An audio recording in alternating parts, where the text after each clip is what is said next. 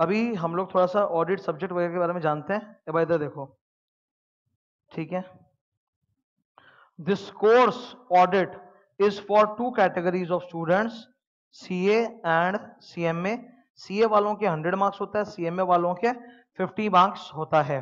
पर more less the content is same CMA की ये परंपरा रही है कि वो लोग अपने कंटेंट को मार्क्स कम देते हैं, पर बाकी अंदर सब्जेक्ट के सारा सामान डाल देते हैं। ठीक है?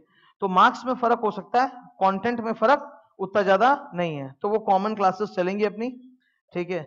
नाउ अपने दो बुक्स हैं red and yellow red book के अंदर कवर होता है eight chapters plus twenty seven standards on auditing और येलो बुक में कवर होता है five chapters total there are thirteen chapters but there is a big difference वो बिग डिफरेंस क्या है कि येलो बुक के जो चैप्टर्स होते हैं दे आर लॉन्ग ठीक है और रेड बुक के चैप्टर्स शॉर्ट होते हैं तो तुम लोग पाओगे कि रेड बुक में जब कोई चैप्टर चालू होता है तो वो दो क्लास एक क्लास तीन क्लास ऐसे एवरेज में दो क्लास के अंदर ऑलमोस्ट हो जाता है पर येलो बुक के जो चैप्टर्स है वो एक एक चैप्टर पाँच क्लास छह क्लास ऐसा करके जाता है ठीक है तो येलो बुक के चैप्टर्स लॉन्ग है ज़्यादा। गिनती वाइज भले ही कम हो, पर डिस्कशन वाइज लॉन्ग है। और अगर तुमको मतलब अपना ऑडिट बहुत स्ट्रॉन्ग करना मतलब if you are targeting for like 70 plus तो तुमको इसको बहुत स्ट्रॉन्ग करके चलना पड़ेगा येलो बुक को। ये बहुत ज़्यादा ज़रूरी है if you are targeting for 70 plus in audit एकदम तगड़ा प्रिपरेशन होना चाहिए येलो बुक का, ठीक है? अच्छा रेड बुक के अंदर 27 स्टैंडर्ड्स हैं। टोटल हमारे ये लिखना हो रहा है सबका? ठीक है? तुम लोग जो भी मैं सिलेबस का डिस्कशन कर रहा हूँ ना प्लीज़ राइट डाउन करते जाना। ये तुमको ना कॉपी नोट्स ही बाद में बचाएगा। मैं बता रहा हूँ, बहुत सारे स्टूडेंट्स होते हैं, वो पाँच छह महीना बाद जब खत्म हो जाता है बैच और घर पे पढ़ते हैं तो बोलते हैं कि, भैया, पढ़े तो सब थे, अभी जब देखते हैं तो हर चीज़ नया नया सा लगता है। तो उस वक्त तुमको कॉपी बचाएगा। You come to my copy you start reading तुम एकदम रिदम में आ जाओगे सब्जेक्ट के, ठीक है? मैंने बुक के अंदर दो तीन स्पेशल चीज़ भी डाला है जो तुमको हमेशा हेल्प करेगा. Whenever you are out of touch with the subject you can always come back to the book book में मैंने एक रिफ्रेशर बोल के डाला है टॉपिक जो आज मैं पढ़ाने जा रहा हूँ. ऑडिट रिफ्रेशर उसको जैसे ही पढ़ोगे, पूरा ऑडिट एकदम ब्रेन में चला जाएगा, वापस से. ठीक है? अभी इधर, ध्यान देना. ये हो गया सबको? सुनो. चार्टर्ड अकाउंटेंट इंस्टीट्यूट ने टोटल 46 ऐसे बनाया है. 46 standards we should say standards ठीक है?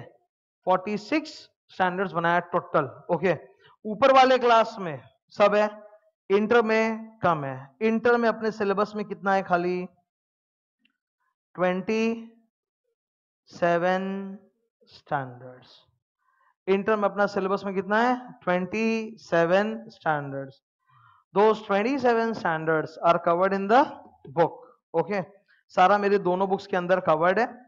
इसके अलावा अगर तुमको 27 स्टैंडर्ड्स का एक शॉर्ट समरी बुक चाहिए तो मेरे वेबसाइट पे डाला हुआ है, ठीक है?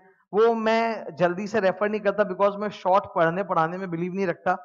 मैं देखो, आएगा एग्ज़ाम में तो पूरा डिटेल में आएगा। They are not going to ask you summary are you getting my point will they ask you summary of the standard in exam not at all they will ask you detail question then I don't believe in doing summary but एक student लोग का demand होता है summary summary summary इसलिए summary book बना के website पे डाला हुआ है, वो तुमको जाके वेबसाइट पे मेरे डाउनलोड सेक्शन के अंदर मिल जाएगा, ठीक है? उसका नाम है स्टैंडर्ड्स कॉम्पैक्ट बुक।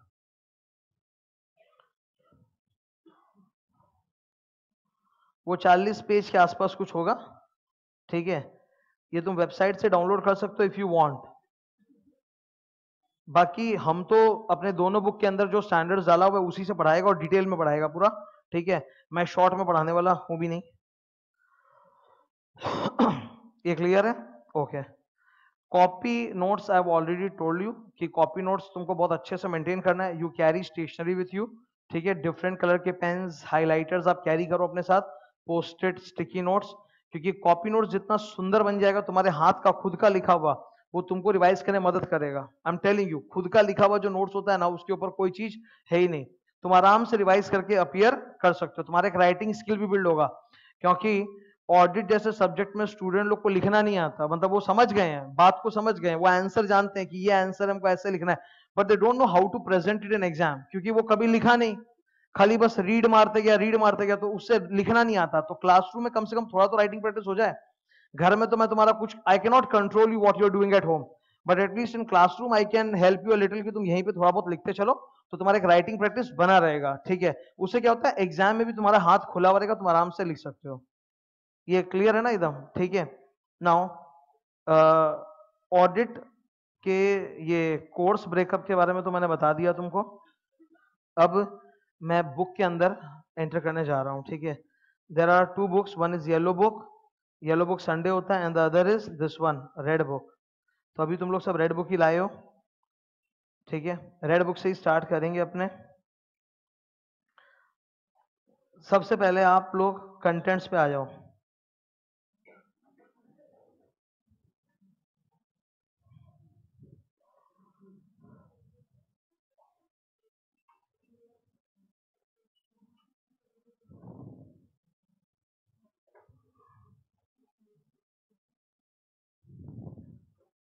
ये देखो आ, देखो ये पेज होना चाहिए।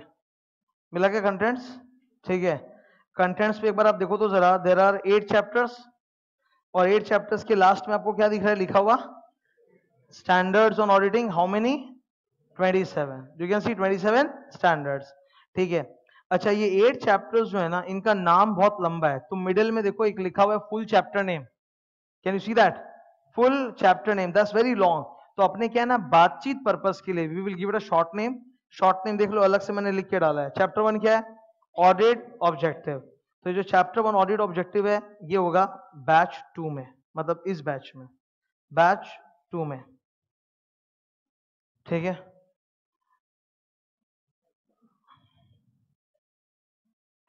अब अगले पेज पेज टर्न करो। एक पेज टर्न करो। हाँ। अब देखो, तुम्हारे को ये मिलना चाहिए। कंटेंट्स एस ए कंटेंट्स पे टर्न करो, एक बार देखो अगला पेज पे ये आ जाएगा। मिला क्या?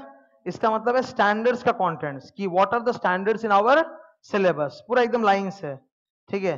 ये देखो अच्छा जो स्टैंडर्ड्स ऐसे ग्रे शेड में डाले हुए हैं, देख रहे हो ग्रे शेड में ये वाला, मेरे हाथों के ठीक सामने देखो, तुम लिखा हुआ है ऐसे 260 उधर लास्ट में लिखा हुआ होगा एक्सक्लूडेड मतलब वो सिलेबस से हटा दिया है।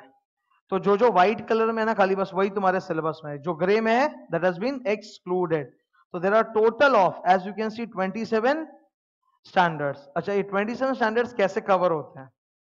13 स्टैंडर्ड्स ये दिख रहा है सबको डायग्राम नहीं तो तुम अपना बुक भी देख सकते हो। ठीक है? 13 स्टैंडर्ड्स जो है, वो चैप्टर वन से एट के बीच में डाला हुआ है। मतलब जो अपने chapter one two three four five six seven eight पढ़ेंगे, उसी के अंदर थर्टीन स्टैंडर्ड्स अपने को मिलेगा और वहीं पे संग संग कवर हो जाएगा। फोर स्टैंडर्ड्स है जो येलो बुक में कवर होगा। येलो बुक के अंदर एक चैप्टर आता है audit report chapter number ten तो उसमें कवर हो जाएगा वो फोर स्टैंडर्ड्स तो थर्टीन फोर कितना हो गया? सेवनटीन तो सेवनटीन स्टैंडर्ड्स तो अपने चैप्टर के संग संग ही कवर हो जाएँगे। तो वो लोड लगेगा नहीं बिल्कुल भी। बहुत सारे स्टूडेंट वो स्टैंडर्ड से घबराते हैं। तो घबराना ही नहीं पड़ेगा, क्योंकि सत्रह स्टैंडर्ड्स जो है दैट तो चैप्टर के अंदर ही कवर हो जाएगा। बचा कितना लास्ट में? टेन तो वो टेंथ स्टैंडर्ड्स का अलग से सेपरेट क्लास होगा जब अपना बैच एंड होगा। ठीक है? जब अपना बैच एंड होगा ना, उस टाइम पे वो टेंथ स्टैंडर्ड्स पूरा अलग से हम लोग सेपरेट स्टैंडर्ड्स की क्लास कंडक्ट करेंगे। तो ये डन है स्टैंडर्ड्स का एक आइडिया हो गया। ठीक है।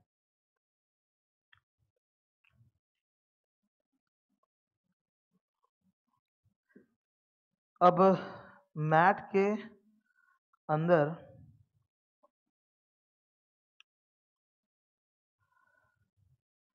ये स्टैंडर्ड्स वाले कंटेंट को टर्न करो, देखो तुमको ऐसा कुछ मिलना चाहिए।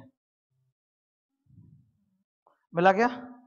हाँ ये जो है ना, ये इसका नाम देखो, ऊपर एकदम क्या लिखा है अपना?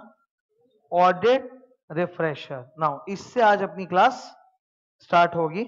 ये तीन पेज का है। तुम पलटो, देखो तीन पेज का होगा ये टोटल ठीक है?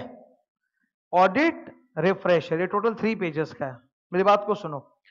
ये रिफ्रेशर मैंने जस्ट छह महीने पहले बनाया था। और इसका मकसद क्या था?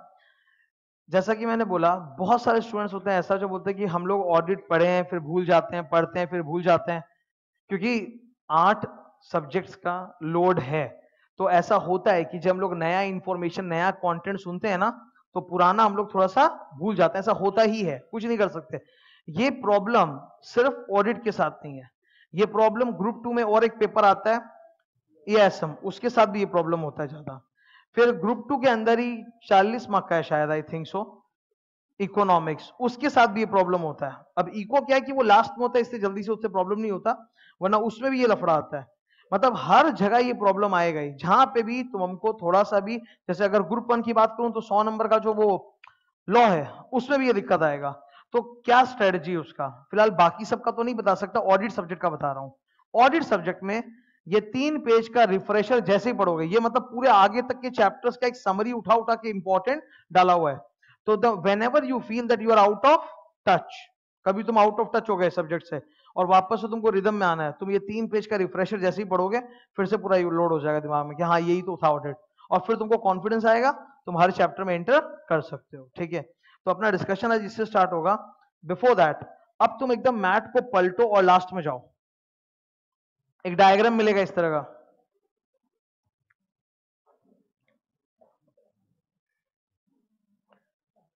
ये देखो, तुम लोग को इस तरह का एक डायग्राम मिलेगा। देख रहे हो?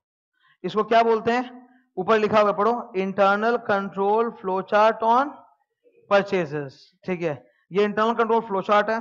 इसके एक पेज पीछे जाओ। फिर क्या मिला अपने को? Control flow chart on sales there is a very important concept internal controls in the subject audit बहुत इंपॉर्टेंट तो ये भी मतलब मैंने दोनों बुक्स में डाला है। मतलब इसमें अभी क्या होगा, तुम टर्न करोगे ना देर आर सिक्स पेजेस ये सिक्स पेजेस क्या रेफरेंसर है। इनके ऊपर नाम देखो, लिखा होगा कहीं पे रेगुलर रेफरेंस बोल के। ये ऐसा है जो रेड बुक में भी काम आता है येलो बुक में भी काम आता है। जब भी भूल गए, एक बार चलो फटाक से देख लिया रेफरेंस क्लियर हो गया दिमाग में। इंटरनल कंट्रोल बहुत दिन हो गया था, भूल गए। एक बार फटाक से देखा, याद आ गया। इसमें और भी चीज़ें हैं रेगुलर रेफरेंस के अंदर ही। जैसे पेज 226 के टॉप पर, ठीक है? मैं भी बोल देता हूँ बोर्ड पे नहीं दिखा रहा हूँ, तुम्हारे पास है। पेज 226 के टॉप पे तुमको दिख रहा होगा basic elements of auditor's report फिर उसके पीछे जाओ पेज 225 पहुँचा? 225 पे ऊपर एकदम टॉप पे देखो क्या लिखा है ऑडिट महामंत्रास। ये भयंकर हेल्पफुल रहता है रिविजन में। जैसे स्टैंडर्ड्स पढ़े सारा, अभी स्टैंडर्ड्स पढ़ने के बाद भूल गए, दिक्कत हो रहा है, याद नहीं हो रहा। ये पूरा ऑडिट महामंत्रास ये सारे 27 स्टैंडर्ड्स के अंदर जो जो इंपॉर्टेंट चीज़ उसको उठा के बनाया हुआ है। तो तुरंत एकदम खोपड़ी में याद आ जाएगा फिर से। देन पेज 224 पे यू हैव मटेरियलिटी कंप्यूटेशन एक कंप्यूटेशन होता है, वो मैं बाद में सिखाऊँगा। फिर पीछे आओ। एक पेज और पीछे। पेज 223 पे क्या दिख रहा है आपको? डेटर्स एजिंग एनालिसिस ये एक तरह का ऑडिट प्रोसीजर होता है। तो ये सब रेफरेंसर है। ना ये दोनों बुक में मिलेंगे तुमको। रेड में येलो में जब भी हो। मैंने बोला ना कि हर क्लास एक दूसरे से इंडिपेंडेंट है। अभी मान लो कि कल को मैं बी वन पढ़ा रहा हूँ। उसमें कोई चीज़ ऐसा आ गया जो यहाँ से कनेक्टेड तो मैं फिर से वापस वहाँ पे याद दिलाऊँगा। ऐसा कुछ नहीं कि वहाँ याद नहीं दिलाऊँगा। ठीक है? क्लियर है? सो so, अभी ये एक सब्जेक्ट के बारे में और बुक्स वगैरह के बारे में बता दिया। अब ये क्लोज होता है। अब यहाँ से स्टार्ट होगा। Okay we are starting copy में heading audit and then will start you, you will leave one page for indexation.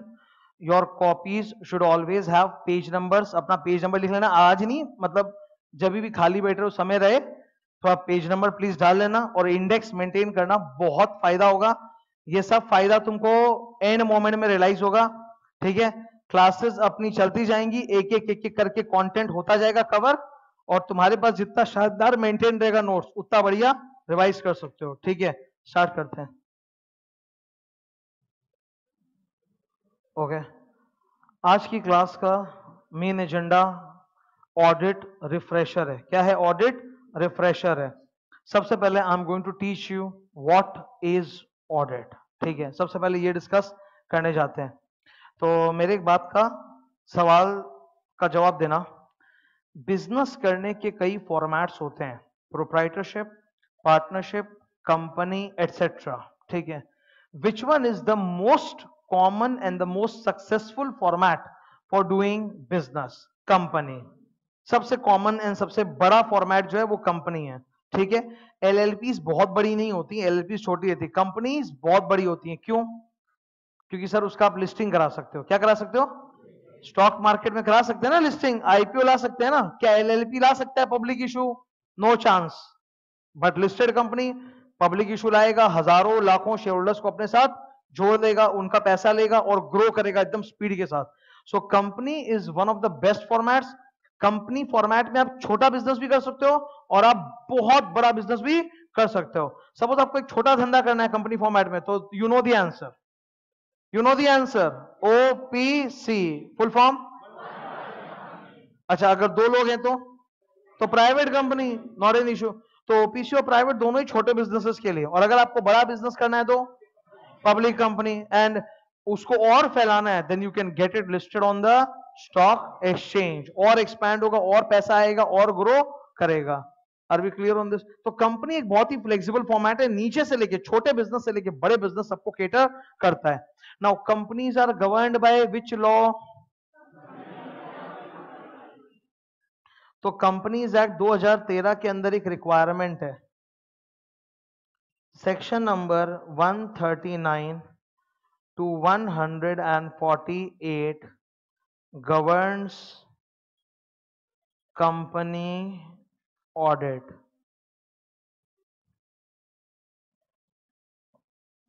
it requires, मैं बोर्ड पे काफ़ी बड़ा लिख रहा हूँ। आई होप पीछे तक और वर्चुअल में सबको स्पष्ट दिखाई दे रहा होगा। It requires every company it requires every company to get its books of accounts audited by CA.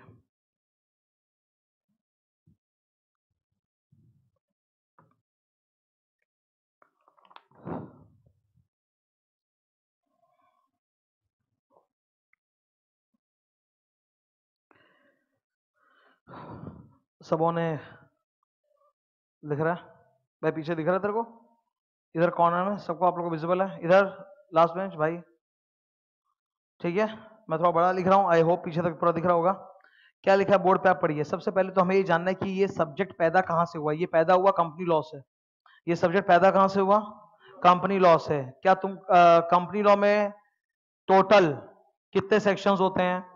Four seven zero four hundred and seventy in our syllabus how many sections are there one one से लेके one forty eight उसमें ये वाला जो sections का आप range देख रहे हो ना 139 से लेके 148 10 सेक्शंस होते हैं बोथ इंक्लूडेड तो 139 से 148 इज़ 10 सेक्शंस ये 10 सेक्शंस जो हैं, इसी को हम कहते हैं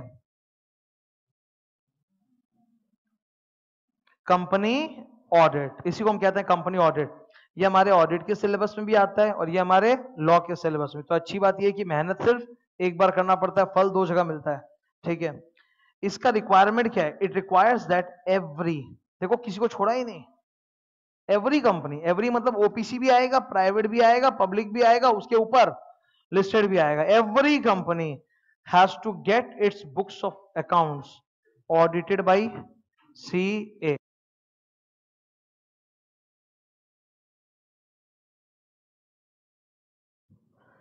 okay, it requires every company to get get its books of accounts audited by a C अब ये सीन क्या है? पूरा मैं तुमको और एक्सप्लेन करता हूँ। ये हो गया, हटा दू इसको मैं, हटा रहा है। ठीक है? स्टार्ट करते हैं। फ्रेश फिर से लिखो नया diagram company company has prepared its financial statements ठीक है कंपनी ने क्या बनाया है? फाइनेंशियल स्टेटमेंट्स एफएस का मतलब फाइनेंशियल स्टेटमेंट्स देखो, शुरू की क्लासेस है तो थोड़ा तो मुझे बेसिक्स बताना पड़ेगा। हो सकता है कि ये बेसिक्स तुमको ऑलरेडी आता हो। तुम पहले से लोअर क्लास में सीख लियो पता है मेरे को? ठीक है? पर फिर भी एक बार तो मेरे को ज़ीरो से स्टार्ट करना पड़ेगा ना। There are different background of students कौन क्या, कैसे क्या पढ़ा है, शायद वो छोड़ के गया था तो एक बार तो मेरे को बताना पड़ेगा ही एफ़ एस एफ़ एस के अंदर क्या क्या आता है, मैं बताऊँगा।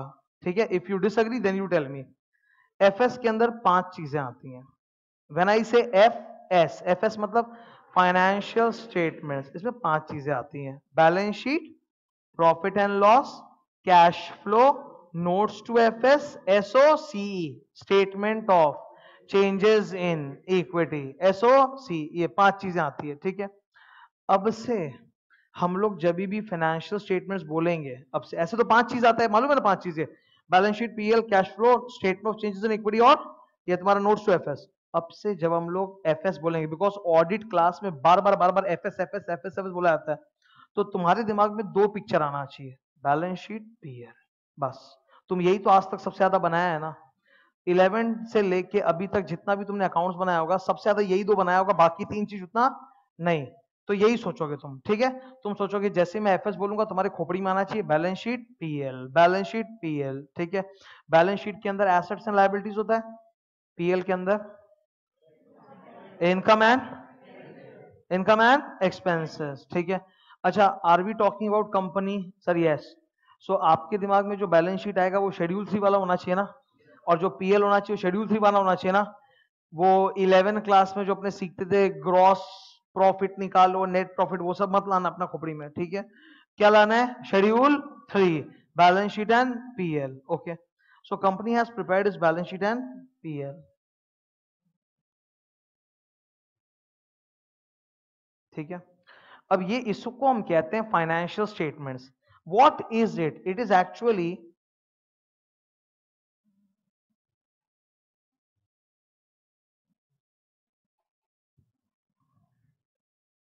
it is actually summary of books of accounts it is actually summary of books of accounts ठीक है? अच्छा बुक्स ऑफ़ अकाउंट्स क्या होता है? बुक्स ऑफ़ अकाउंट्स वो होता है जो तुमने क्लास 11 में सबसे पहले पढ़ना स्टार्ट किया। जर्नल। जर्नल को हम लोग बोलते हैं book of primary entry. Book of? फिर जर्नल के पाछे लेजर। लेजर को बोलते हैं बुक ऑफ़? अच्छा इन दोनों के बीच में कैश बुक? कैश बुक को क्या बोलते हैं? Book of prime cum secondary entry. Correct है? तो अपने जर्नल सीखे हुए, अपने लेजर सीखे हुए, अपने कैश बुक सीखे हुए।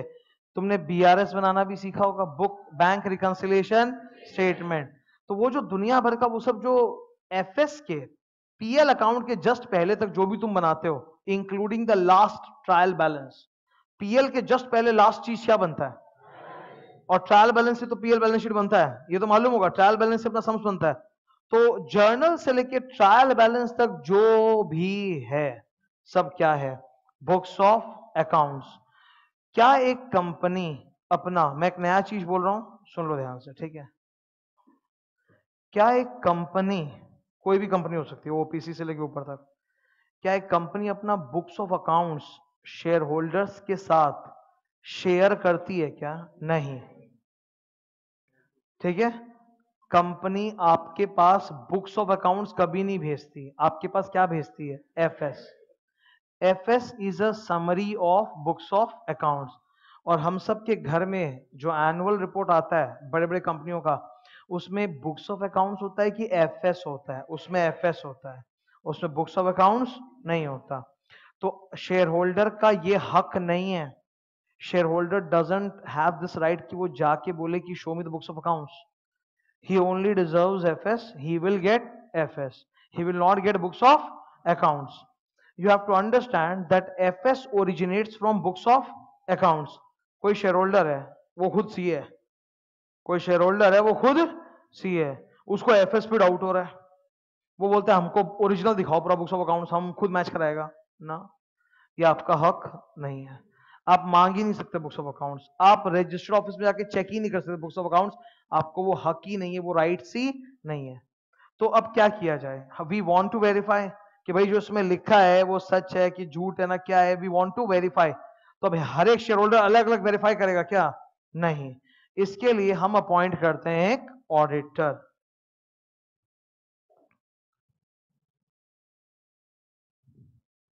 ऑडिटर कौन? सीए ऑडिटर कौन? सीए वो बुक्स ऑफ़ अकाउंट्स को चेक करेगा और एफएस को बताएगा कि सही है कि गलत है। तो ये जो सीए आता है ना, ये ऑडिटर ये चेक करता है बुक्स ऑफ़ अकाउंट्स और चेक करने के बाद बोलता है हाँ कि एफएस जो बना है एकदम सही है. We call it auditing the FS we call it auditing the FS. मैं बोर्ड पे जैसा डायग्राम बना रहा हूँ प्लीज़ वैसे बनाना। डायग्राम का स्ट्रक्चर चेंज मत कर देना। तुम लोग देख सकते हो कि मैंने राइट हैंड साइड में खाली स्पेस छोड़ा है उधर। ठीक है, तुमको दिख रहा है तो? कि मैंने राइट हैंड साइड में खाली स्पेस छोड़ा है तो वो है, कोई पर्पस है उसका। तो कंपनी ने बनाया एफएस एफएस को चेक कौन करता है? चार्टर्ड अकाउंटेंट ऑडिटर इसके ऊपर भी बात करेंगे कि चार्टर्ड अकाउंटेंट ऑडिटर कौन होता है, नहीं होता, वो सब we will talk later check करने के बाद बंदा एक रिपोर्ट देता है। चेक करने के बाद बंदा एक रिपोर्ट देता है। रिपोर्ट को हम लोग बोलते हैं we call it independent auditor's report we call it independent auditor's report.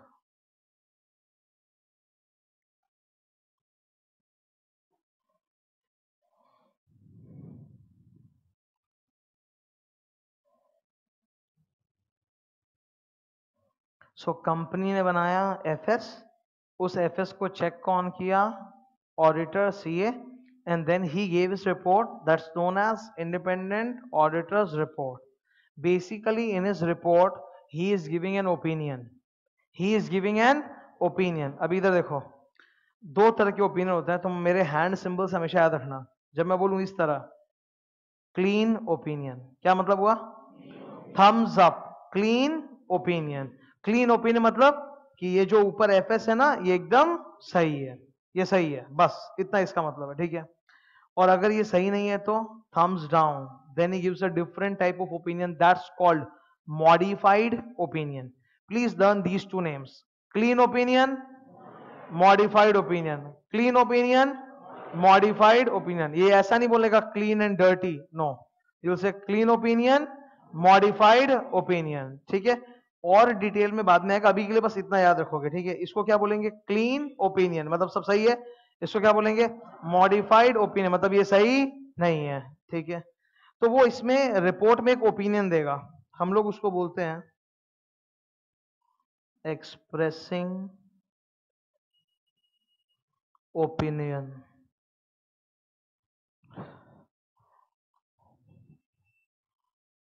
Expressing opinion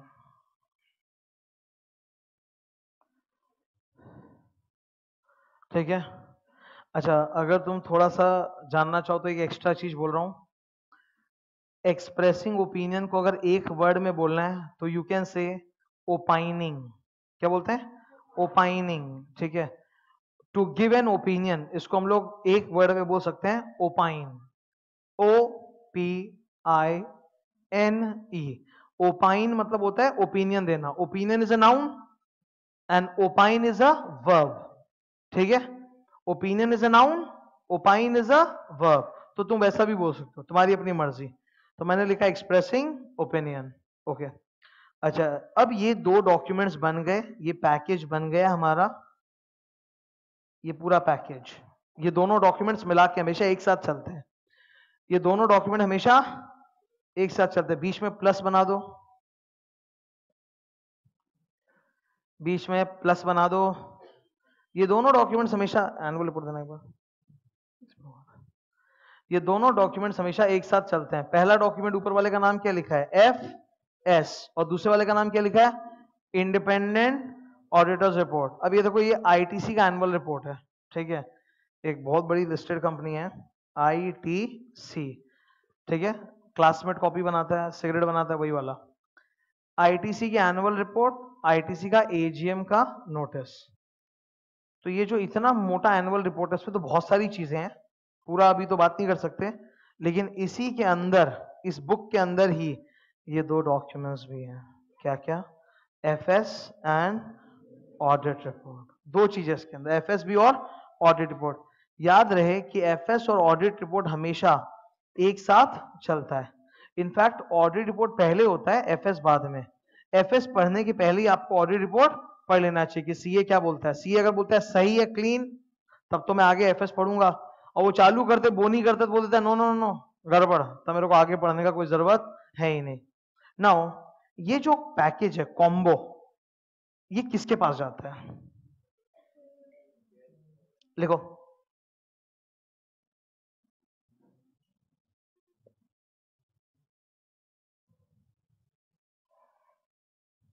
अगर तुमने वहाँ पे जगह नहीं रखी है तो तुम नीचे लिख लो।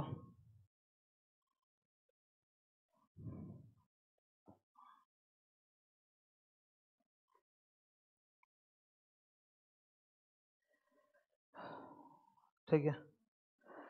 प्लीज़ जो भी पढ़ाऊं, वो एकदम कंसंट्रेशन सुनना। हाई फाई नहीं बोलूँगा, एकदम सिंपल सिंपल करके बताऊँगा और धीरे धीरे बिल्टअप होगा। ठीक है? अति ज़्यादा चुहलबाजी नहीं कर सकते। नहीं तो क्या ना कि सिलेबस पीछे चला जाता है उससे। तो फ़र्स्ट क्लास में जो आज तुमको मेरा रिदम दिखेगा, मेरे लास्ट क्लास में तुम देखोगे, मैं उसी स्पीड से पढ़ाता हूँ। My speed does not change या आज मैं बहुत हँसी मज़ाक में निकाल दिया धीरे धीरे और लास्ट में जाके तो मैं रगड़ के टान दिया, वैसा नहीं। उससे फिर फ़ायदा नहीं होने का, ठीक है? और देखो टीचिंग लाइन में खड़े हैं। तुम आओगे, एक बैच पढ़ के चले जाओगे, पर मेरा तो यही करियर है। जैसे तुम्हारा जॉब एक दिन करियर बनेगा, मेरे लिए तो यही करियर है, मेरे लिए तो है, मेरा तो इसके अलावा कोई और साइड है नहीं। And I have to enjoy this process तो वो तभी होता है जब हर क्लास एक अच्छी क्लास बन के निकलती है फ़र्स्ट से लेके लास्ट तक। तो सेम स्पीड रहेगा बट तुमको भी थोड़ा अपना कॉन्सेंट्रेशन हाई रखना चाहिए, अच्छे से समझना चाहिए। ये किसके पास जाएगा? किसके पास? उन लोगों को हम कहते हैं यूज़र्स क्या कहते हैं? Users of F S and A R A R means audit report A R means audit report ठीक है? सबसे पहले किसका? तुमको क्या लगता है किसका जाएगा?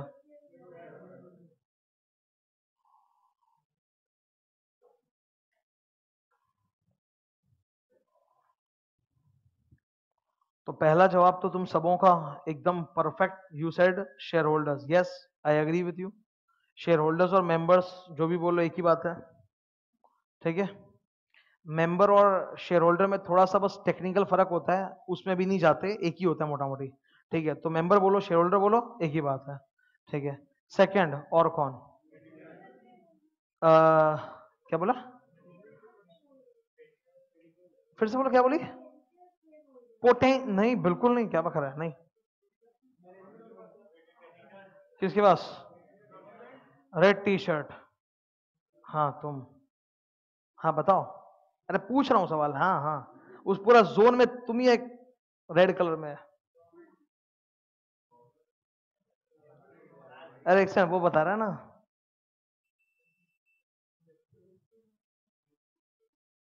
शोल्डर्स तो हो गया और मतलब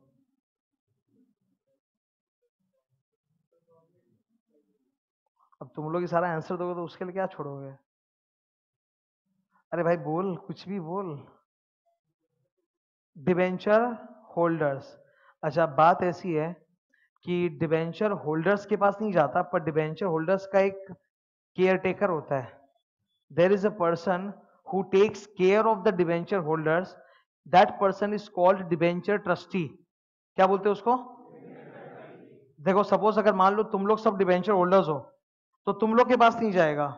तुम लोग के लिए केयर टेकर अपॉइंटेड रहता है, जिसको हम लोग बोलते हैं डिवेंचर ट्रस्टी उसके पास जाता है।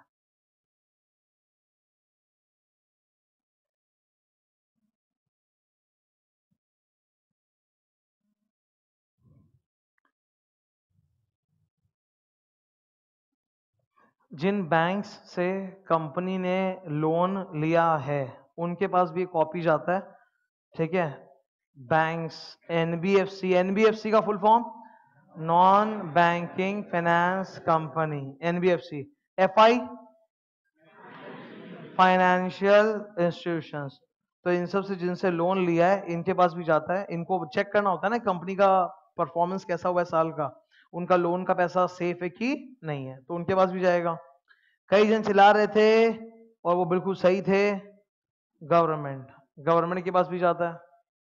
अच्छा when I say government it means income tax department it means GST it means ROC सब। ठीक है, एक ही साथ में। अब सबको अलग अलग मत बोलना बैठ के। वो एक ही हो गया ना, गवर्नमेंट हो गया। ऐसा तो ना कि आरओसी गवर्नमेंट का हिस्सा नहीं है। आरओसी बोलो इनकम टैक्स बोलो, सब जगह जमा होता है आपका एफएस ठीक है? ये चार नंबर क्लियर है? गवर्नमेंट। इसमें आर ओ सी सब आ गए। अब एक जनरल है कि कुछ लोग ऐसे होते हैं जो यहाँ कहीं फॉल नहीं करते। पर वो भी यूज़ करते हैं। उनके पास जाता नहीं है। The annual report is not given to them but they use it for example तुम लोग सब स्टूडेंट्स हो, और तुम लोग को अकाउंटिंग स्टैंडर्ड का एप्लीकेशन देखना है। अकाउंटिंग स्टैंडर्ड्स या ऑडिटिंग स्टैंडर्ड्स या ऑडिट रिपोर्ट ये सब देखना है। तो तुम भी तो पढ़ोगे ये। तुमको भी तो कहीं से मिल जाएगा। तुम वेबसाइट से डाउनलोड कर लोगे। ठीक है? तो तुम लोग भी तो पढ़ सकते हो ये। मैं टीचर हूँ। मुझे भी ये चाहिए पढ़ाने के लिए। तो ऐसे बहुत सारे लोग हैं जिनके पास ये जाता तो नहीं है, पर जो उसको यूज़ ज़रूर करते हैं और वो कैसे यूज़ कर सकते हैं? वेबसाइट पे डाल दिया जाता है। कंपनी को कहा डाल देते हैं अपने? वेबसाइट पे। और वेबसाइट पे कोई भी चीज़ आ गया, तब तो वो हर कोई इंसान डाउनलोड करके पढ़ सकता है कि नहीं? That is available to everybody and anybody कोई भी डाउनलोड कर सकता है। तो उनको हम एक नाम दे देते हैं एटसेट्रा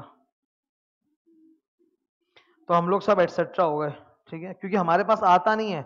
हम लोग खुद वेबसाइट से डाउनलोड करके सर्च करके स्टडी करते हैं, ठीक है? अच्छा एटसेट्रा में डू यू थिंक खाली स्टूडेंट्स एंड टीचर्स आएगा? और कौन?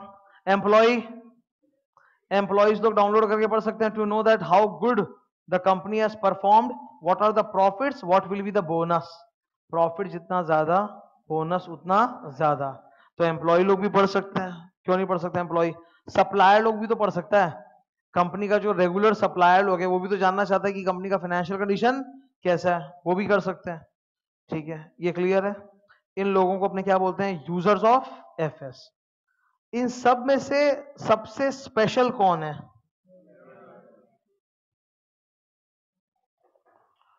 Out of these five, those of you who don't have highlighter can underline this. ठीक है? लिसन टू मी इन सबसे खास कौन है? शेयर होल्डर ठीक है?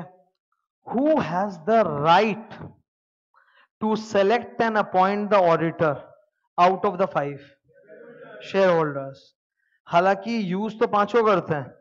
पर ऑडिटर अपॉइंट करने का हक किसके पास है? सिर्फ़ शेयर होल्डर्स ऊपर कर दू डायग्राम या नीचे लिखने का?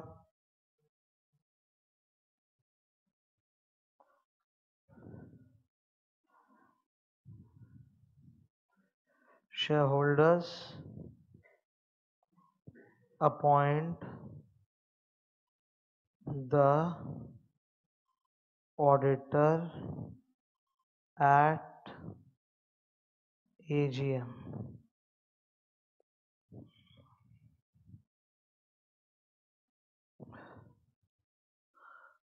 ठीक है। Share holders appoint the auditor at AGM AGM stands for annual general meeting तो उसमें ये ऑडिटर कोई लोग अपॉइंट करते हैं।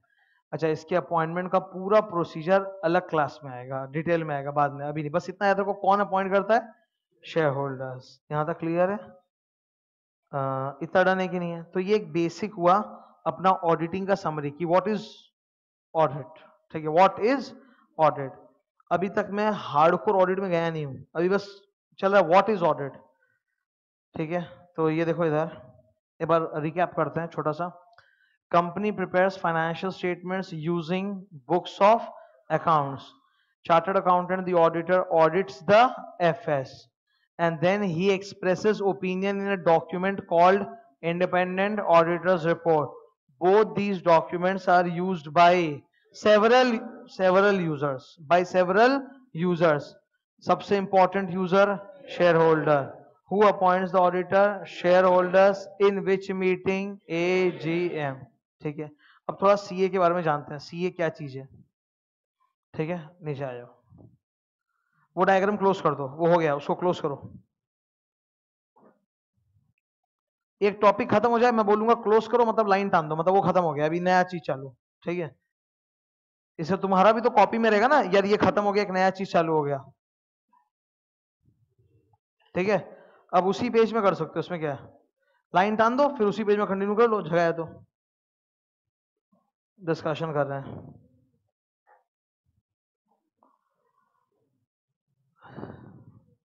सी ए राम। ओके हम लोग अपने नाम के पहले सी ए लगा, हम लोग मतलब इस रूम में तो हम, ठीक है। हम लोग अपने नाम के पहले सी ए लगा सकते हैं, ठीक है। When you qualify C A you can use C A instead of mister ठीक है। मिस्टर भी चलता है, पर डिग्री इंडिकेट क्या करता है? सी ए अभी ये बहुत फ़ेमस हो गया। पहले ऐसा नहीं होता था। पहले खाली डॉक्टर लोग अपने नाम के लिखते थे? डी आर बाकी कोई डिग्री वाले अपने नाम के कुछ नहीं लिखते थे। सब लिखते थे मिस्टर। फिर सबको आ गया स्वैग बोला, हम लोग भी लिखेंगे। ठीक है? तो सी ए अपने नाम के पहले C A accordingly C S C M A engineer वाले लोग भी ई e आर ठीक है? कुछ लोगों के नाम के पहले तुम देखो ई e आर लिखा हुआ है। दैट इज़ इंजीनियर तो सब अपने नाम के आगे अपना डिग्री लिखने लग गए। बोला, हम लोग मिस्टर से बढ़ चुके हैं लाइफ में आगे। ठीक है वी आर समबडी तो वो लिखना चालू हो गया नाम के पहले। और खाली नाम के पहले नहीं, गाड़ी में भी। जैसे डॉक्टर गाड़ी में प्लस साइन बना हुआ रहता है। ऑलमोस्ट जितना भी सी है, सबके गाड़ी में वो सी का स्टिकर लगा हुआ रहेगा। मतलब कुछ तो होना चाहिए ना अलग डिफरेंट जैसे तुम्हारी गाड़ी देखते हट जाएगा, एकदम ट्रैफ़िक पुलिस जाने तो ऑडिट पे जा रहा है। ठीक है एंबुलेंस बाद में निकलेगा, पहले ये जाएगा ऑडिट करने। We started using the alphabet C A just before the name ठीक है? अब सी ए लोग तीन कैटेगरी हो सकते हैं। सबसे ज़्यादा भाव होता है।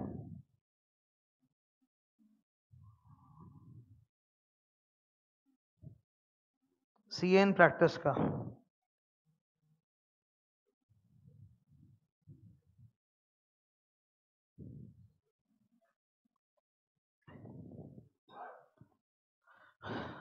ठीक है?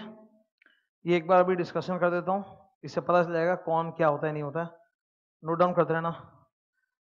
अबे नोट तो करते रहना। Whenever I am writing anything on board you are suppose to copy needless to say every time जब भी आई टच बोर्ड मैं नोट्स बनाऊँ या बुक में जाऊँ, मेरे संग संग तुरंत कॉपी करते रहना। फ़र्स्ट क्या है? C in practice C N practice क्या होता है? सुनो, मैं तुमको एक बार समझा देता हूँ। जैसे क्वालिफाई किए। क्वालिफाई करने के बाद तुम्हारा फाइनल क्लियर हो गया। आर्टिकलशिप का तीन साल का वो एक होता है, वो कोर्स वो खत्म हो गया। फिर एक बोलो कि ट्रेनिंग वगैरह होती है जीएमसीएस एमसीएस वगैरह ऐसा, वो खत्म हो जाता है। उसके बाद तुम इंस्टीट्यूट के पास फॉर्म भर के अप्लाई करते हो कि मेरे को मेंबरशिप नंबर दे दो। तो वो लोग तुमको एक मेंबरशिप नंबर दे देते हैं, ठीक है? You get the membership number membership number is the ultimate proof that you are a chartered accountant अगर मेंबरशिप नंबर है that is the ultimate proof you are a chartered accountant type of chartered accountant से पता नहीं, बस you are a chartered accountant. So, I have a membership number, all the chartered accountants have a membership number, pretty much like you have a registration number. तुम्हारे पास एक registration number होगा ना ERO वगैरह ऐसा करके कुछ होगा। ठीक है तो वैसा ही एक होता है मेंबरशिप नंबर मेंबरशिप नंबर में ईआरओ लिखा हुआ नहीं रहता। It's a six digit number एकदम सिंपल ठीक है, अब क्या होता है? मेंबरशिप तो मिल गई, बन गए सीए अब उसके बाद अगला स्टेप है, वापस से फॉर्म भरो। ठीक है, और अप्लाई करो, बोलो कि मैं प्रैक्टिस करना चाहता हूँ। मैं क्या करना चाहता हूँ? प्रैक्टिस तो वो लोग तुमको अलग से एक और देंगे C O P full form certificate of practice certificate of practice और उसका एक अलग नंबर होता है। उसका एक अलग से नंबर मिलता है। तो दैट इज़ सीओपी नंबर तब जाके तुम बनते हो practising chartered accountant practising chartered accountant जो प्रैक्टिस करते हैं, वो तीन फॉर्मेट्स में हो सकते हैं। नंबर वन सोल प्रोप्राइटरशिप ठीक है? नंबर वन क्या? सोल प्रोप्राइटरशिप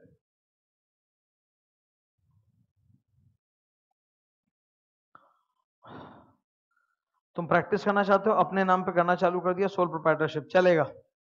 ठीक है? आप एक ऑफ़िस ले लो ऑफ़िस एड्रेस लेना ज़रूरी है। अगर आपके पास ऑफ़िस लेने का पैसा नहीं है, आप अपने घर में ऑफ़िस खोल सकते हो, वो भी चलेगा। ठीक है? तो सोल प्रोप्राइटर बन गए। दूसरा तरीका जो ज़्यादा फ़ेमस है पार्टनरशिप आप एक पार्टनरशिप फर्म बना सकते हो। कम से कम दो पार्टनर्स चाहिए तो आप एक पार्टनरशिप फर्म बना सकते हो। वेरी कॉमन और इन सब के ऊपर जो अब फ़ेमस चल रहा है एल एल पी अभी जल्दी से कोई प्रोप्राइटरशिप पार्टनरशिप करता ही नहीं है। सबके सब क्या करते हैं? एल पी प्रोप्राइटरशिप अभी भी होता है, ठीक है? बहुत ज़्यादा, लेकिन पार्टनरशिप बहुत कम हो गया है। सबका सब अपने आप को किसमें कन्वर्ट कर लिया? एल एल पी अच्छा बाय द वे मेरा कोचिंग सेंटर भी तो एलएलपी है but we are not C A firm we are not a C A firm हम लोग सी ए फर्म थोड़ा है. सी ए फर्म वो होता है जो सिर्फ़ सी ए वाला काम करता है, ठीक है? तो हम लोग यहाँ पे ऑडिटिंग अकाउंटिंग टैक्सेशन वो सब काम तो करते हैं नहीं. तो एलएलपी बनाने का मतलब ये नहीं कि we are a C A firm LLP तो कोई भी बना सकता है. कल कोई भी इंसान, कोई भी बिज़नेस कर रहा है, वो एलएलपी बना लेगा. तो this is a coaching centre LLP this is not practising LLP समझ गए बात को एकदम? ठीक है? आपका ऑडिटर कौन होगा? इन तीनों रेड कलर में से कोई हो सकता है। जो आपने ऊपर ऑडिटर पॉइंट किया ना who can be your auditor either a proprietor or a partner or an LLP आप इसी को बनाते हो अपना ऑडिटर ठीक है? सेकेंड प्रजाति सीए कैटेगरी में। ह्यूज सर्विस जॉब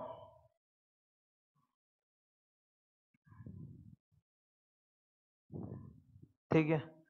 ये लोग ऑडिट नहीं कर सकते। ऑडिट खाली कौन कर सकता है? प्रैक्टिस वाला। और कोई कर ही नहीं सकता। ऑडिट सिर्फ़ यही कर सकता है फ़र्स्ट कैटेगरी सेकंड कैटेगरी नहीं कर सकता ऑडिट एंड देन आता है थर्ड कैटेगरी जो ना प्रैक्टिस में है, ना जॉब में है, जो एटसेट्रा है। जैसे मैं एटसेट्रा हूँ।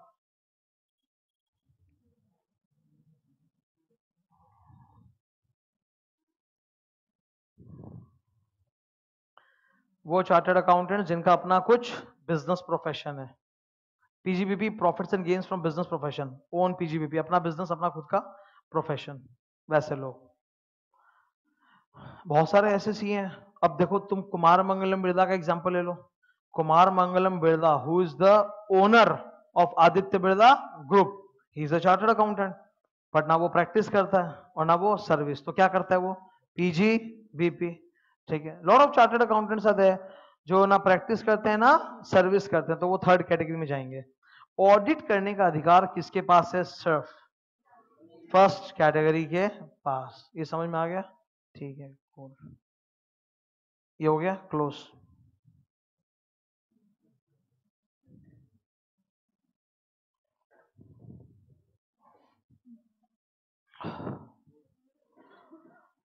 ओके है? अब आते हैं बुक में। ये रहा ऑडिट रिफ्रेशर इस पे आ जाओ।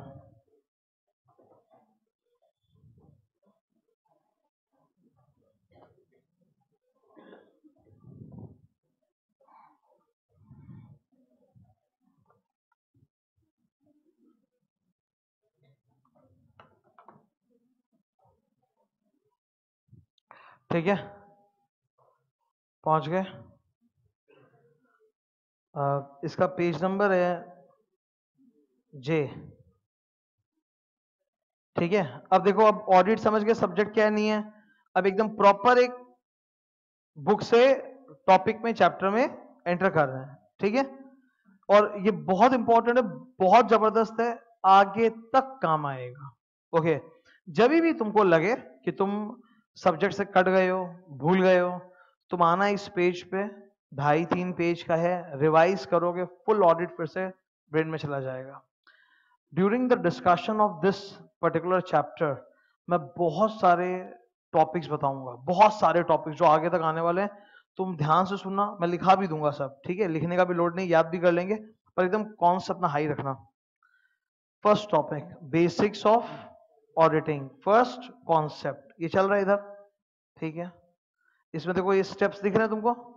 फाइव स्टेप्स मिला ऊपर। अगले पेज पे आप देखो, खाली बोर्ड पे ताको एक बार। Don't turn your page board पे ताको।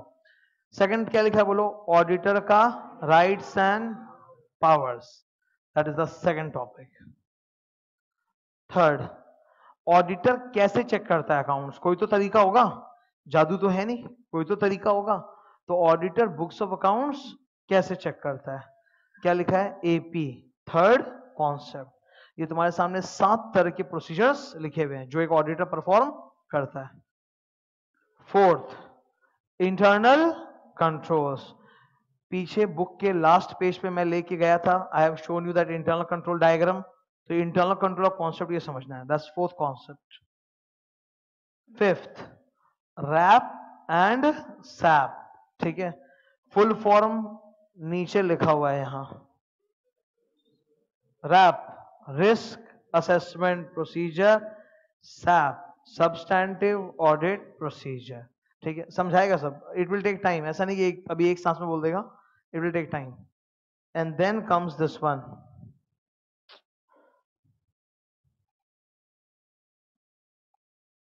sixth concept and the last one link between IC IC मतलब इंटरनल कंट्रोल रोमम मतलब रिस्क ऑफ़ मटेरियल मिस्टेट इसमें लिखा दूँगा मैं।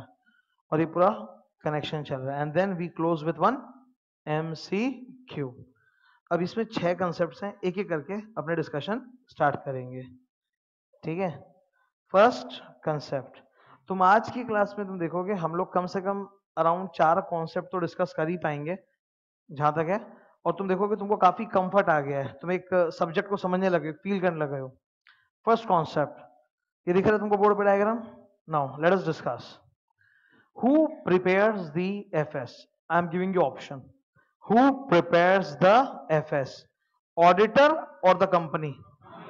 Company. Auditor does not prepare fs एक बात सोचो, तुम अपना एग्ज़ाम दिए जाके एग्ज़ाम हॉल में, और वो लोग आके बोले, अपना अपना पेपर सेल्फ इवेल्युएशन करो, खुद चेक करो. ठीक है?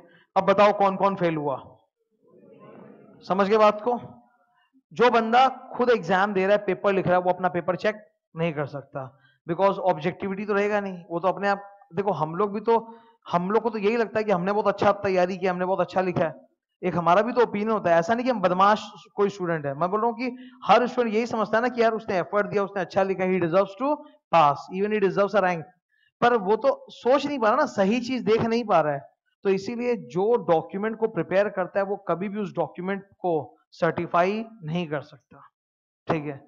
सर्टिफाई आपको किसी और से ही कराना पड़ेगा। तो वैसी बात है। Financial statements are prepared by the company and audited by the CA अच्छा वो सीए कंपनी में जॉब नहीं करता, वो सीए प्रैक्टिस वाला है। क्या है वो सीए प्रैक्टिस वाला मतलब वो अपना अलग प्रैक्टिस करता है, वो कंपनी में जॉब नहीं करता। जॉब वाले सीए ऑडिट नहीं कर सकते। ठीक है? नाउ टेक्निकल चीज़ बोलने जा रहा हूँ। Technically speaking who prepares the FS the answer is management of the company क्या बोला मैंने? हाईलाइट या अंडरलाइन जो भी।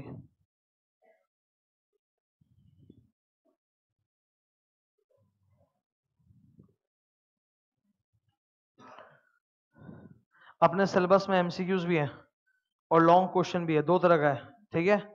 चार पाँच मार्क का क्वेश्चन भी आता है एमसीक्यू भी आता है केस स्टडी बेस्ड एमसीक्यू भी आता है। तो अपने को हर चीज़ एकदम पूरा एकदम क्लियर होना चाहिए okay who prepares the FS the answer is management and who checks it the auditor CA तो वो पक्का अकाउंट्स के ऊपर कुछ तो करता होगा। कुछ तो करता होगा, कुछ तो चेक करता होगा। जो वो करता है, उसे हम कहते हैं ऑडिट प्रोसीजर्स क्या बोलते हैं? Audit procedures so he performs audit procedures on the accounts quotation में डाल दो अंडरलाइन कर दो या बॉक्स कर दो, जो भी। देखो हाईलाइट नहीं लाए तो कोई दिक्कत नहीं है, तुम बॉक्स बना दो ऐसा, ठीक है? So auditor performs some audit procedures ठीक है? हर एक सर्विस प्रोवाइडर के अपने प्रोसीजर होते हैं। जैसे आज हम एक डॉक्टर के पास भी जाते हैं तो डॉक्टर का टिपिकली क्या प्रोसीजर होता है? डॉक्टर पहले तो डायग्नोसिस करता है, कुछ टेस्ट वगैरह बोल देता है कि ये आप करा के आओ। अक्सर हम लोग को बहुत गुस्सा भी आता है कि टेस्ट क्यों बोल रहा है, इसका पक्का टाइप होगा वहाँ। पर ऐसा ज़रूरी नहीं है। प्रॉब्लम ये है कि मेडिकल साइंस इतना एडवांस हो चुका है और बीमारियाँ इतनी कॉम्प्लिकेटेड हो चुकी हैं कि डॉक्टर रिस्क नहीं लेना चाहता कि केवल सिम्टम्स के बेसिस में जज कर ले कि what is the cause of a problem क्योंकि अगर वो तुमको गलत मेडिसिन देता, तुमको कुछ हो गया तो लाइबिलिटी किसकी बनती है? उसकी। तो वो रिस्क क्यों लेगा? उसको क्या कमीशन मिल जाएगा टेस्ट से या नहीं से? तो इसलिए टेस्ट ज़रूरी है। तो उसके अपने प्रोसीजर है। वो करता है और फिर वो डायग्नोसिस करके बोलता है कि आपको ये बीमारी है, ये मेडिकेशन आपको लेना है। Exactly the auditor also is suppose to perform some procedures those procedures are known as audit procedures. Now, अब इधर आप देखो। यही ऑडिटर जो है क्या क्या स्टेप्स करता है? एकदम सीरियल ऑर्डर में लिखा हुआ है। दिख रहा है? One two three four five तुम लोग सब एक काम करो। फोर और फाइव को मर्ज कर दो।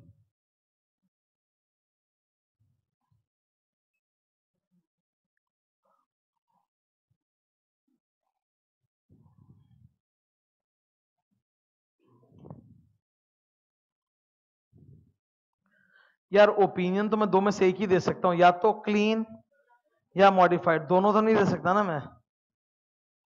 ठीक है? ओके चलो अभी डिस्कस करेंगे। मैंने सब लिख के दिया है, तुमको बोर्ड पे दिख रहा होगा। Step one two three four five second column के ऊपर क्या लिखा है? शॉर्ट स्टेप और फिर अंदर में क्या लिखा है? लॉन्ग स्टेप या डिटेल तो स्टेप नंबर वन क्या है? ऑडिट प्रोसीजर्स हम लोग ऑडिटर क्या करता है? He performs audit procedures that's the first step short में बोलेंगे एपी उधर कोना में? शॉर्ट में बोलेंगे एपी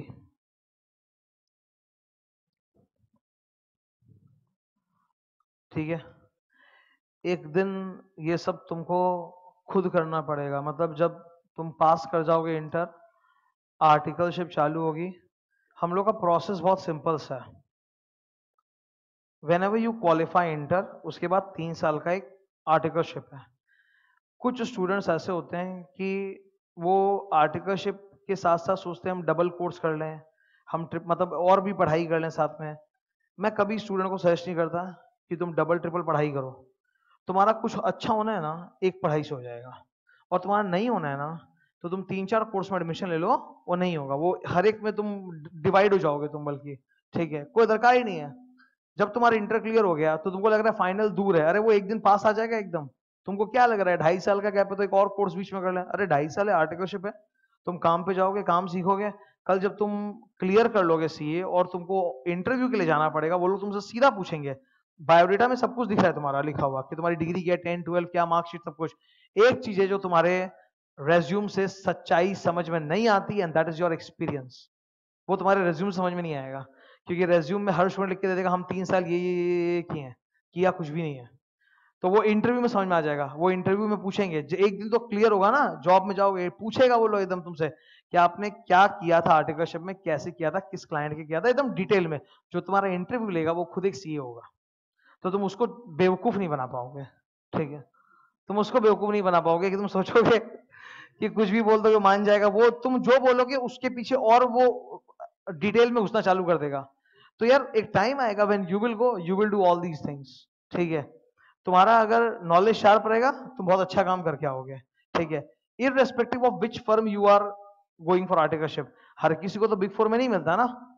सब किसी को थोड़ा बिग फोर मिल जाएगा इतने सारे स्टूडेंट्स है तो। सब नीचे लेवल के भी, पर तुम अगर अच्छे हो तो तुम्हारा कुछ अच्छा हो ही जाएगा तगड़ा, ठीक है?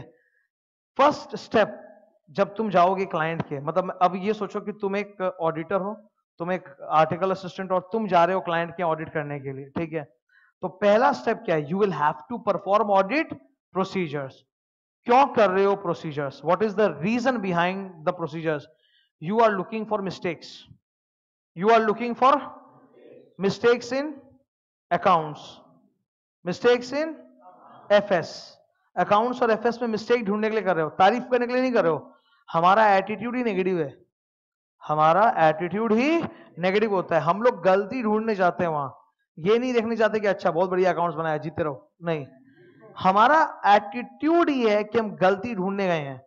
सपोज़ उनका अकाउंट्स 99 परसेंट सही है। उनका अकाउंट्स क्लाइंट का अकाउंट्स 99 परसेंट सही है। वन परसेंट प्रॉब्लम है। हम फिर भी गाली ही देंगे। हम तारीफ़ नहीं करेंगे कि सौ में निन्यानवे आया ना, बहुत अच्छा। अरे वो पर्पस ही नहीं है ऑडिट का। ऑडिट का पर्पस तारीफ़ करना नहीं है। ऑडिट का पर्पस रेटिंग देना रैंक देना नहीं है कि क्लाइंट नंबर वन है क्लाइंट नंबर फाइव है। नहीं। ऑडिट का पर्पस है to find out the mistakes ठीक है? अप्रिशिएट करने नहीं जा रहे हो। क्रिटिकली इवेलुएट करने जा रहे हो। समझ में आ रहा है? तुम एक क्रिटिक हो। तुमको मिस्टेक ढूंढना है। तो हम मिस्टेक ढूँढने गए हैं। अकाउंट्स के अंदर जो मिस्टेक्स मिलती हैं, उनको बोला जाता है। M M S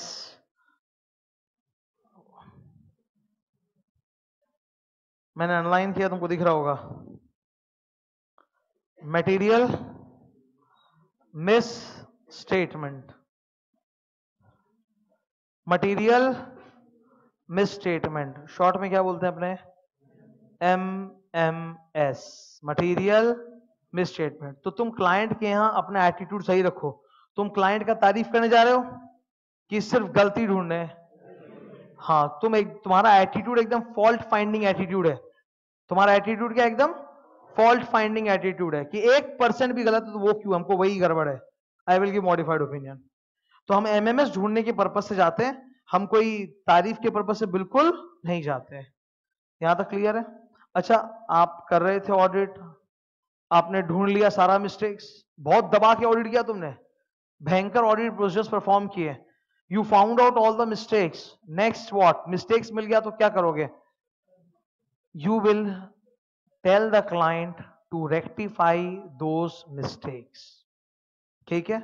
You will tell the client to rectify those mistakes many people think wrong student को क्या लगता है?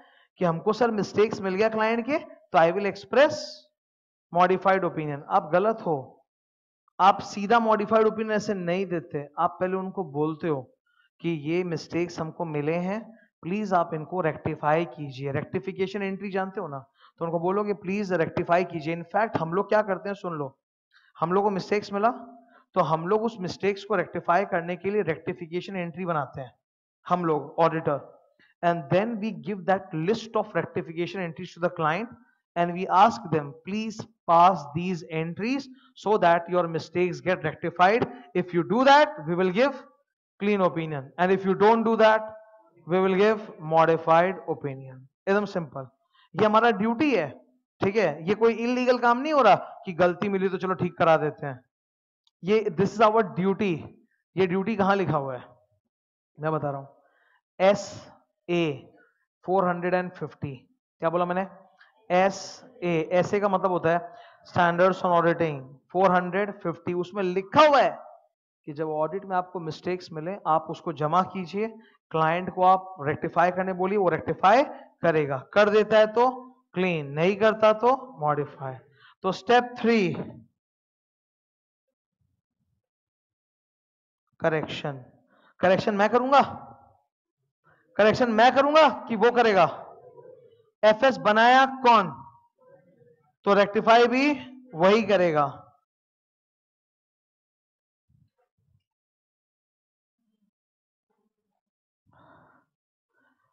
ठीक है? अच्छा एक बार पहला तीन स्टेप्स को देख लेते हैं। ग्रीन कलर पे फोकस करो प्लीज़ सब कोई।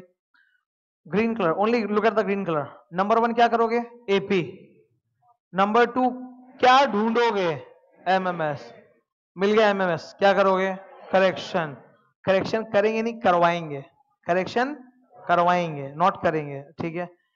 Fourth step the last step if they agree to rectify all the mistakes या फिर उनके मिस्टेक्स था ही नहीं तो कौन सा ओपिनियन नहीं माना।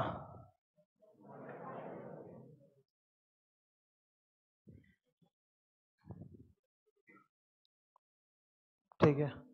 तो एक बार अपने सिक्वेंशियल स्टेप्स देख लेते हैं इधर।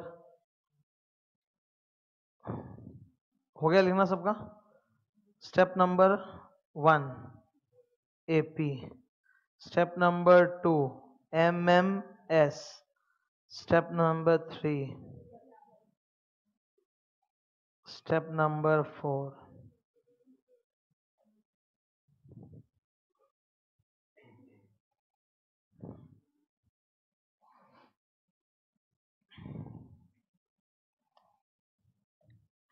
अभी फ़र्स्ट कॉन्सेप्ट खत्म होता है रिवाइज मारते एक बार।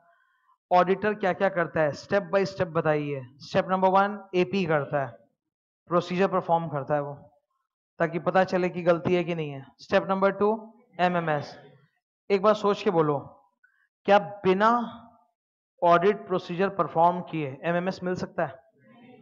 ऐसा थोड़ा ना होता है कि तुम गए क्लाइंट की तुमने एफएस के ऊपर से हाथ रखा हैरी पॉटर की औलाद हो तुम। एफ़ एस पे हाथ रखते अपने आप सारा एमएमएस बाहर निकल के ऐसा थोड़ा होता है। फ़र्स्ट प्रोसीजर देन एमएमएस ठीक है? तो इट्स अ सिक्वेंशियल प्रोसेस अच्छा after I have found out the MMS then I will tell the client to do the correction so correction has to be third step correction can not be first step it happens after MMS now अब वो लोग का क्या decision होगा, उससे मेरा decision decide होगा। If they decide to rectify it I will express clean if they decide not to i will express modified clear एकदम ये डन है that was the first concept अब आते हैं नीचे इधर auditors rights and powers that is the second concept ठीक है ओके okay, ये हमारा सेकंड कॉन्सेप्ट है ठीक है अच्छा राइट्स एंड पावर्स क्यों चाहिए? ड्यूटी करने के लिए? राइट्स एंड पावर्स क्यों चाहिए? ड्यूटी करने के लिए। मैं आज यहाँ पर खड़े होकर एज अ टीचर पढ़ा रहा हूँ। पढ़ाना मेरा ड्यूटी है पावर नहीं है। पढ़ाना मेरा ड्यूटी है, वो मेरा पावर या मेरा राइट्स नहीं है। पर क्लास में डेकोरम मेंटेन करवाना चिल्ला देना, डांटना, वो मेरा राइट्स है because I need those rights and powers to discharge my duty ठीक है? तो राइट्स अलग होते हैं ड्यूटीज़ अलग होता है। जब तक एक सीए के पास राइट्स नहीं होगा पावर्स नहीं होगा, वो कैसे चेक करेगा? वो कैसे अपने प्रोसीजर परफॉर्म करेगा? Let me give you one example inventory का मतलब समझते हो? इन्वेंट्री ओके अब तुम बड़े हो गए, अब से इन्वेंट्री बोलने का आदत डाल लो। Stop saying opening stock closing stock you say inventory ठीक है? Inventory is one of the most dangerous items inventory में सबसे ज़्यादा गड़बड़ होने का चांस होता है। इन्वेंट्री में सबसे ज़्यादा गड़बड़ होने का चांस होता है कि इन्वेंट्री की वैल्यू को ऊपर नीचे कर सकते हो। क्या क्लाइंट अपने बुक्स में इन्वेंट्री को एमआरपी पे दिखाएगा? क्या इन्वेंट्री एमआरपी पर दिखाया जाता है? किस पे? सिर्फ़ कॉस्ट हाँ ठीक है कॉस्ट और NRV whichever दोवर now who decides what is the cost cost sheet cost sheet से आपको पता चलता है। कॉस्ट शीट में तो वो लोग दाया बाया कर सकते हैं ना। ज़रूरी कॉस्ट शीट में सबसे घटिया डेंजरस आइटम है ओवरहेड ओवरहेड्स का किस प्रकार से क्या डिवीज़न किया है, उसका खुद छह सात मेथड्स होता है। और उसकी वजह से पूरा आंसर चेंज हो सकता है। There are so many different methods of overhead absorption and allocation एक तरफ़ तुम्हारे पास एब्जॉर्प्शन कॉस्टिंग है, फिर एक्टिविटी बेस्ड है, फिर मार्जिनल है, फिर स्टैंडर्ड है रेलेवेंट कॉस्टिंग है। इन सब में आंसर अलग अलग आ जाएगा। और क्लाइंट फिर से तुमको बेवकूफ़ बना देगा। तो हमको तो पूरा उसका कॉस्ट शीट समझना पड़ेगा कि भाई वैल्यू सही दिखा रहा है कि नहीं दिखा रहा है। तो इन्वेंट्री बहुत डेंजरस आइटम है। ठीक है? अब इन्वेंट्री चेक करना पड़ेगा ना? डेंजरस आइटम है तो। तो हम लोग क्लाइंट को बोले, सर, आपके फोर गोडाउन्स हैं। कितने? हमारे लड़के लोग या लड़की लोग जो भी, वो जाएँगे चेक करने के लिए। ठीक है? सीए बोला क्लाइंट को कि मेरे जो टीम मेंबर्स हैं ऑडिट टीम मैं भेजूँगा, वो आपके चारों गोडाउन पे जाके सेम टाइम पे स्टॉक काउंट करेंगे। वो बोला नो वो मना कर दिया। वो बोला, आपका गोडाउन में क्या काम है? आप लोग अकाउंट चेक करने आए हो ना? तो हेड ऑफ़िस में आओ। हेड ऑफ़िस के अंदर, मेरा बात समझ में आ रहा है? A company has got several places ठीक है? तो वो बोलता है कि आपका तो अकाउंट चेक करने का काम है तो आप हेड ऑफ़िस में आओ। हेड ऑफ़िस में सारा अकाउंट्स रखा हुआ है अकाउंट्स डिपार्टमेंट में। वो चेक करो, जाओ। Why do you want to go to this warehouse तो हम लोग बोलेंगे वेयर हाउस में इन्वेंट्री है। और ये तो कोई नियम है नहीं कि आपने अपने अकाउंट्स बुक में इन्वेंट्री इतना का बता दिया तो सचमुच इतना का है। वो तो हमको चेक करना पड़ेगा। How can we trust your accounts we have to verify that you are showing that you have got an inventory of 50 crore rupees वो है भी कि नहीं, मेरे को तो जाना पड़ेगा। वो बोलता है, लेकिन वेयर हाउस में तो जा नहीं सकते अब अगर वो मेरे को वेयर हाउस में जाने नहीं देगा तो I can not perform procedure और मैं प्रोसीजर ही अगर नहीं परफॉर्म कर पाऊँगा तो मैं ओपिनियन कैसे दूँगा? You getting my point so I need those powers I need those powers कि मैं आपके प्रीमाइसिस को विज़िट कर सकता हूँ। आपके कोई भी प्रीमाइसिस को मैं जाके विज़िट कर सकता हूँ। आपका showroom warehouse factory sales depot HO HO मतलब होता है हेड ऑफ़िस मैं आपके किसी भी प्रीमाइसिस को विज़िट बस आपके घर नहीं आऊँगा। पर बाकी आपके जितने भी बिज़नेस प्रीमाइसिस है, उन सब जगह मैं विज़िट कर सकता हूँ। I should have that power second मैं आया हूँ एफएस चेक करने। एफएस किससे पैदा हुआ? Books of accounts books of accounts किससे पैदा हुआ? Voucher and invoices books of accounts किससे पैदा हुआ? Vouchers and invoices books of accounts में जर्नल एंट्री में वो कुछ भी जर्नल एंट्री मार देगा तो मैं भरोसा कर लूँगा क्या? कि मेरे को चेक करना पड़ेगा। अगर उसने कोई जर्नल एंट्री मारा है तो मैं बोलूँगा, इसका वाउचर दिखाओ, इसका इनवॉइस दिखाओ। तो I must have the rights to check all the books and papers क्या बोला मैंने? बुक्स एंड पेपर्स अकाउंट्स के जितने भी सपोर्टिंग डॉक्यूमेंट्स है, वो सब मुझे चेक करना पड़ेगा। तो वो मेरा राइट होना चाहिए। मैंने दो बोल दिया। एक मैंने बोला विज़िट ऑल प्रेमाइस दूसरा मैंने बोला check all the books and papers अभी तीसरा एक और last I may have to ask question because everything is not clear from the books everything is not clear from the books and paper so I must have right to ask ask whom directors employees even outsiders debtors or creditors debtors or creditors insider होते हैं कि outsider होते हैं तो I must have the right to ask them also कि उनसे भी मैं बातचीत कर सकूँ उनसे मैं पूछ सकूँ so I must have the right to inquire internal people as well as external people ये rights होना चाहिए तो ये सब राइट्स एक ऑडिटर को कौन देता है companies act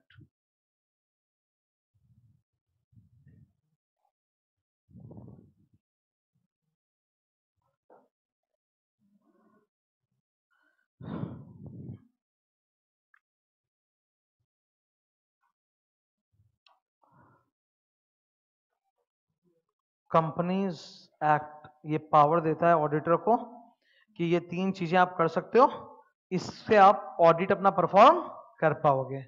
first point, books and, आप सारे बुक्स और डॉक्यूमेंट्स मांग के चेक कर सकते हो। Second point, seek information and explanation मतलब सबसे सवाल जवाब कर सकते हो। कोई भी ये नहीं बोलेगा कि अपना काम करो। बोला, अपना ही तो काम कर रहे हैं। सवाल पूछना हमारा काम है। तो जॉब है। This is our part and parcel हम लोग जाके एम्प्लॉय से कितना भी सवाल जवाब कर सकते हैं। एम्प्लॉय लोग जो होते हैं ना क्लाइंट के, वो सबसे ज़्यादा घबराते हैं इससे। भयंकर। तुम उनसे हर चीज़ का जवाब मांगोगे और वो घबराता रहेगा। वो परेशान हो जाएगा, फ्रस्ट्रेट हो जाएगा। पर ये हमारा काम है। उसके फ्रस्ट्रेशन का कुछ नहीं कर सकते। वो फालतू का फ्रस्ट्रेट हो रहा है। उससे सवाल पूछा गया है, या तो उसको जवाब मालूम है या नहीं मालूम है। नहीं मालूम है तो बोलेगा कि हमको नहीं पता, हम ऊपर वाले से पूछ के बताते हैं। और पता है तो बता दो। सिंपल सी बात है। तो ये हमको पावर देता है। हम सबसे पूछताछ कर सकते हैं। इसको इंक्वायरी भी बोलते हैं। क्या बोलते हैं इसको? इंक्वायरी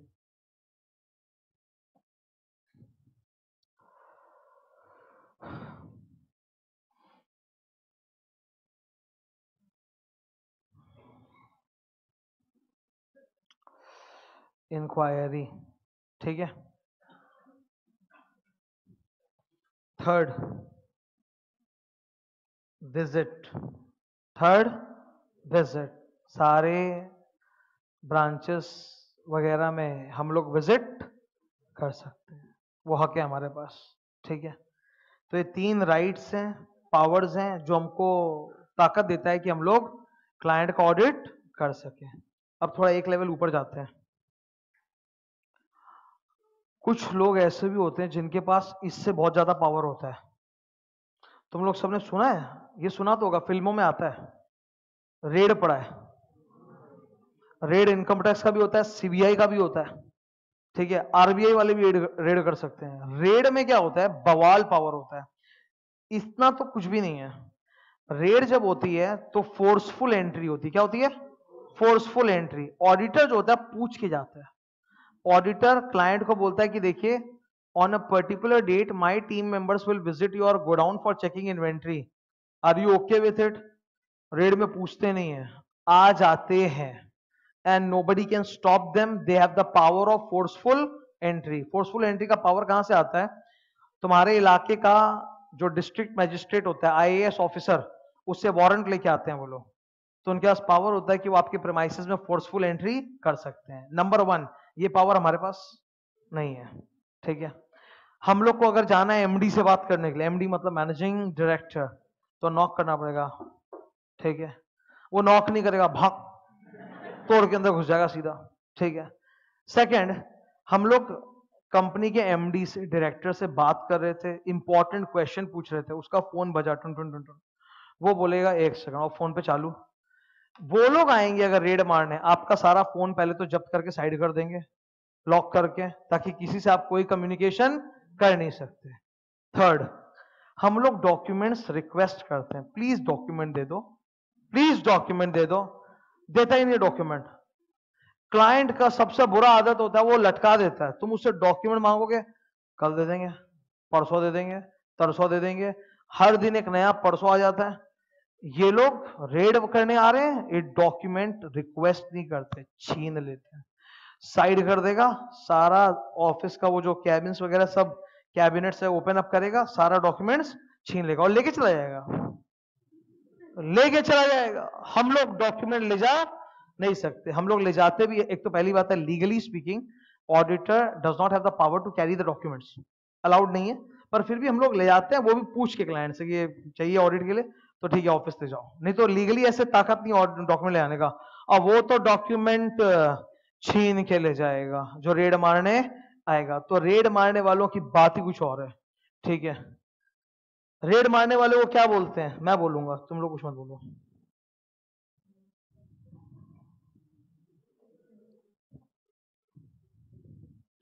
जो रेड करने आता है, उसको क्या बोलते हैं? इन्वेस्टिगेटर ठीक है?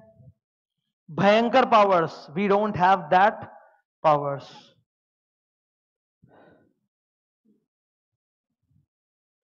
client कभी कभी झगड़ा भी कर लेता है। अच्छा क्लाइंट भी ना मुँह देख के टीका काटता है। मतलब वो एक मारवाड़ी में कहावत है।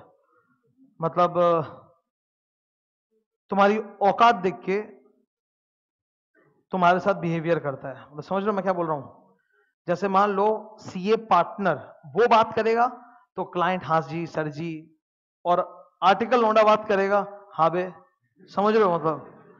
मतलब it's like the treatment varies depending on which level you are ठीक है? और ये लोग जाएँगे ना तो वो तो बिछ जाएगा नीचे और क्या होगा रेड कारपेट ठीक है? तो एक बहुत बड़ा फ़र्क होता है। इन लोग को हम लोग बोलते हैं, लिख लो।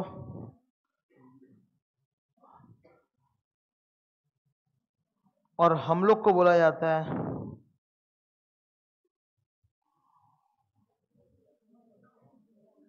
ये दो शब्द कहाँ से आए? ये दो शब्द कहाँ से आए? गोरों के टाइम पे, ब्रिटिश टाइम्स में कोई जज था, ठीक है? बड़ा शौक था उसको लिटरेचर का और कुत्तों का। तो उसने एग्ज़ाम्पल देते वक्त कुत्ते की एनालॉजी यूज़ की। ठीक है? थ्रू अ डॉग एग्ज़ाम्पल वो समझाया कि देखो ऑडिटर जो होता है वो इस टाइप का कुत्ता होता है और इन्वेस्टिगेटर जो होता है वो उस टाइप का कुत्ता होता है, इस तरह से। Watch dog is a dog जो खाली भाव भाव करेगा, काटेगा नहीं। ब्लड हाउंड इज़ अ शिकारी कुत्ता, ठीक है? आपके बुक्स को पूरा साथ में ले जाएगा। तो ये एक बहुत ही फ़ेमस एग्ज़ाम्पल भी है। बीकॉम में तो बहुत बोलते हैं वो लोग auditor is a watch dog not a blood hound बहुत फ़ेमस है, बहुत फ़ेमस है बीकॉम में। ये एक नारा लिख के दे देंगे वो लोग स्लोगन और बोलेंगे इसको एक्सप्लेन करो, ठीक है? हम लोग एक्सप्लेन करेंगे। क्लियर है? Second concept is okay with you अब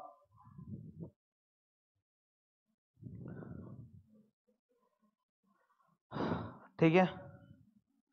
अच्छा थर्ड कॉन्सेप्ट में थोड़ा बाद में जाएँगे, ठीक है? पहले एक ब्रेक अभी during the break I had a few doubts वो मैं डिस्कस कर देता हूँ। फ़र्स्ट ऑफ़ ऑल अगर आप सीए होने के बाद सर्विस कर रहे हो, क्या कर रहे हो? सर्विस या फिर आप मेरी तरह किसी बिज़नेस में प्रोफेशन में एंगेज हो तो आप सीओपी होल्ड नहीं कर सकते प्रोफेशनल एथिक्स जैसे तुम सीए बनते हो you are govern by the chartered accountant act 1949 एक एक्ट है चार्टर्ड अकाउंटेंट एक्ट 1949 जो मुझ पे अप्लाई करता है।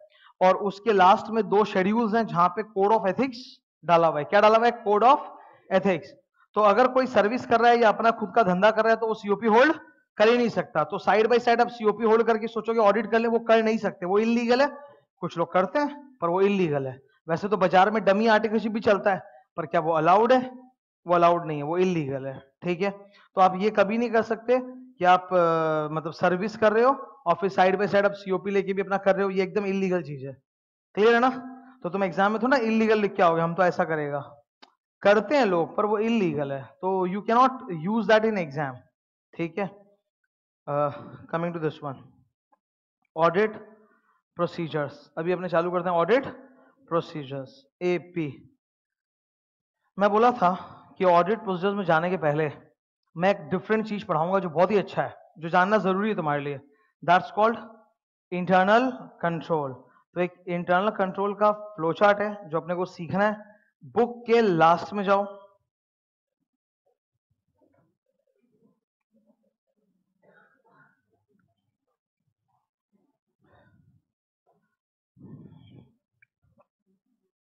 बुक के लास्ट पे जाओगे तो तुमको मिलेगा internal control flowchart on purchases ये नहीं इसके पहले एक पेज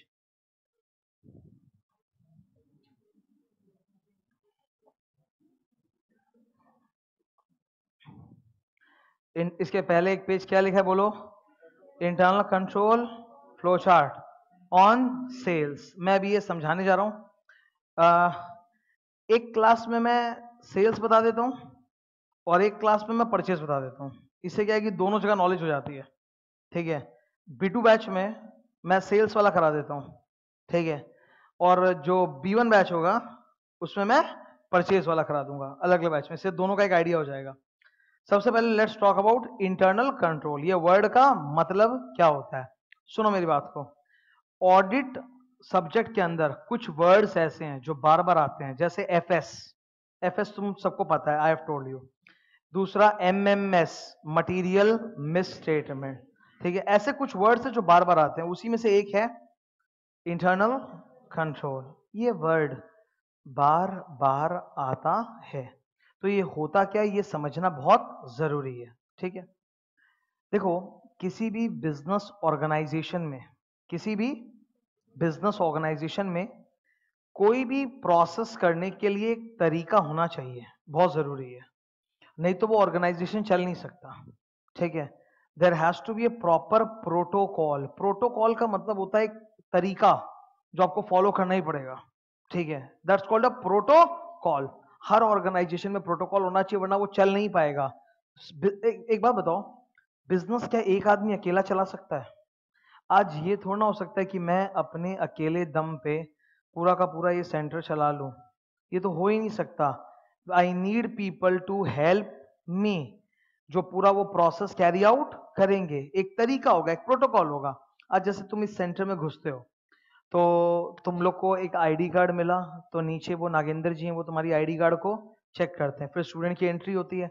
तो ये एक प्रोसेस है, ये एक प्रोटोकॉल है कि student will be entering the centre by production of ID cards तो वो आईडी कार्ड बनाना पड़ा। वो आईडी कार्ड बनाना पड़ा और फिर इशू करना पड़ा और तुम वो दिखाते हो, फिर तुम सेंटर में प्रवेश करते हो। दैट्स अ प्रोटोकॉल ठीक है? अच्छा जब तुम लोग एनरोल किए तो उस वक्त भी तो एक प्रोटोकॉल था। सबसे पहले तुमको एक स्टूडेंट एप्लीकेशन फॉर्म मिला, जिसमें तुम अपना डिटेल्स फिल आउट किए। उसके बाद वहाँ पे स्टाफ जो भी बैठा होगा, वो तुम्हारा इनवॉइस बनाया होगा पूरा भर के। इनवॉइस में तुमने देखा होगा, वो पूरा जीएसटी का ब्रेकअप कर करके पूरा अमाउंट लिखता है, सब कुछ लिखता है, फिर साइन करके देता है। इनवॉइस के पीछे सारे टर्म्स एंड कंडीशंस लिखे हुए रहते हैं। अच्छा इनवॉइस एक कार्बन कॉपी की में रहता है। मतलब तुमको जो मिला दैट्स ओरिजिनल और एक कार्बन कॉपी हमारे पास रहनी चाहिए। तुम्हारी इनवॉइस के बेसिस पे तुम्हारा एनरोलमेंट लिस्ट बनता है। सो मेनी थिंग्स हैपन तो all this is what a protocol a system auditor को इन सबसे क्या मतलब है? अरे, बहुत मतलब है। बहुत ही मतलब है। अगर ये सारे प्रोसेस और प्रोटोकॉल एकदम सही काम कर रहे हैं तो मिस्टेक्स की चांसेस बहुत कम। और अगर ये प्रोसेसेस अच्छे से काम नहीं कर रहे तो मिस्टेक के चांसेस बहुत हाई ये बात को समझ रहे हो तुम? Who am I auditor and I am here to find mistakes so first of all I should see what is the chance of the mistake Whether the chance of the mistake is very high or whether the chance of the mistake is very low. Mistake होने का एक overall assessment देखो auditor जो है, वो blood hound तो है नहीं। जस्ट बोला था ब्लड हाउंड नहीं है। क्या है हम लोग? हम लोग के लिए ये तो पॉसिबल नहीं कि हम लोग पूरा हंड्रेड परसेंट एक एक चीज़ चेक कर सके। हंड्रेड परसेंट एक एक चीज़ चेक करने के लिए पावर बहुत ज़्यादा चाहिए। उतना पावर हमारे पास नहीं है। कानून हमको एक the law gives us limited power and with that limited power we have to check everything to the extent possible तो प्लीज़ अंडरस्टैंड आप पहले कैलकुलेट करो कि what is the chance of mistake in this company what is the chance if the company has good system good protocol the chance of mistakes are less If the company doesn't, then the chances of mistakes are high. That is why एक auditor को internal controls समझने पड़ते हैं तुम किसी भी client के यहाँ जाओगे तो मोरलेस 50 से 60 परसेंट इंटरनल कंट्रोल हर क्लाइंट में सेम होता है पर कुछ कुछ अलग भी होता है what is internal control internal control means a set of procedures a set of procedures जो client के यहाँ होता है मेरा audit procedure नहीं client का procedure not my audit procedure client का प्रोसीजर, ठीक है? ये जितना ज़बरदस्त होगा मिस्टेक्स के चांस उतने कम होंगे। हम हमको ऑडिट करते हो तो उतना कम मेहनत करना पड़ेगा। अब through this example we are going to understand internal controls तो इंटरनल कंट्रोल आप डायरेक्टली नहीं समझ सकते। आपको इनडायरेक्टली समझना पड़ता है, ठीक है? जैसे एक बात को समझो। तुमको अगर किसी एकदम छोटे बच्चे को समझाना है कि भाई दिन क्या होता है, रात क्या होता है? तो जब तक तुम दोनों उसको नहीं दिखा दो कंपेयर करने के लिए, वो समझ नहीं सकता। तुम किसी को जो पहली बार आ रहा है, उसको तुम बोलोगे, ये देखो, ये दिन होता है। तो वो समझेगा नहीं। उसको फिर रात दिखाना पड़ेगा तो उसमें वो जब लाइट है तो दिन है।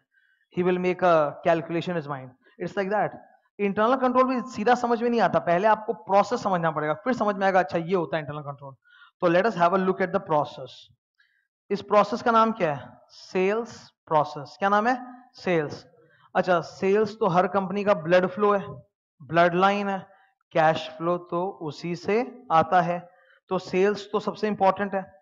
पीएल अकाउंट के अंदर सबसे बड़ा फिगर कौन सा है? सेल्स सबसे बड़ा फिगर तो ये सेल्स का प्रोसीजर है। अब टिपिकली एक ऑर्गेनाइजेशन में सेल्स कैसा होता है मैं समझा रहा हूँ। चार डिपार्टमेंट्स इन्वॉल्व होते हैं। कितने? सेल्स के अंदर कितने डिपार्टमेंट इन्वॉल्व होते हैं? चार। हाईलाइटर लेके हाईलाइट करना। मार्केटिंग डिपार्टमेंट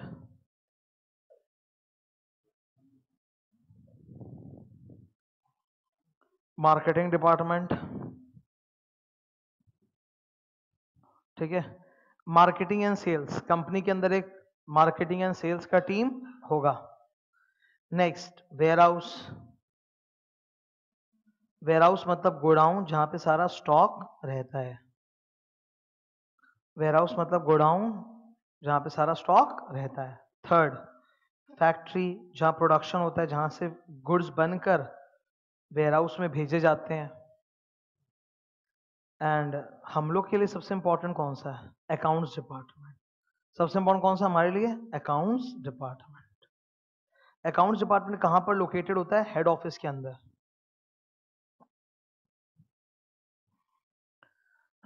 अकाउंट्स डिपार्टमेंट कहाँ पर लोकेटेड होता है? हेड ऑफ़िस के अंदर, ठीक है? तो ये आप देखो, ये हो गए अपने चार departments accounts marketing warehouse and factory ठीक है? नाउ सेल्स का प्रोसेस ये चारों को मिलके करना है। सेल्स का प्रोसेस ये चारों को मिलके करना है। ये भी मैं बहुत ही इंपॉर्टेंट कंसेप्ट पढ़ाने जा रहा हूँ। ये बहुत अच्छा कंसेप्ट है। ये समझ गए ना? तो ऑडिट में कमांड आ जाएगा तुम्हारा, ठीक है? ध्यान से सुनते रहना जो मैं डिस्कस कर रहा हूँ।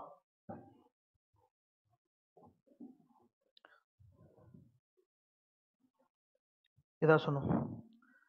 यहाँ पे टोटल ना, इस पूरे डायग्राम में दस स्टेप्स है। सब नंबरिंग किया हुआ है बट भागो मत। धीरे धीरे मैं समझा रहा हूँ, मेरे हिसाब से चलो, ठीक है? मैं तुमको कुछ स्पेशल चीज़ें बताऊँगा, जैसा तुमने कभी सोचा नहीं होगा। कस्टमर जो होता है ना कस्टमर सेल्स किसको करते हैं? कस्टमर को? क्या कस्टमर आपके चारों डिपार्टमेंट से जा जाके बात करेगा, चारों डिपार्टमेंट में दौड़ता फिरेगा, कि वो सिर्फ़ एक जगह बात करेगा? वो एक जगह है मार्केटिंग एंड सेल्स मतलब मार्केटिंग को बोलते हैं सेल्स वो सिर्फ़ एक जगह बात करेगा मार्केटिंग में। बाकी तीनों डिपार्टमेंट के साथ कोऑर्डिनेशन करने का काम किसका है? मार्केटिंग का ठीक है? तो ये आपका कस्टमर है, ऊपर। कस्टमर को हम लोग सी बोल रहे हैं, ठीक है? शॉर्ट में मतलब सी नथिंग इधर।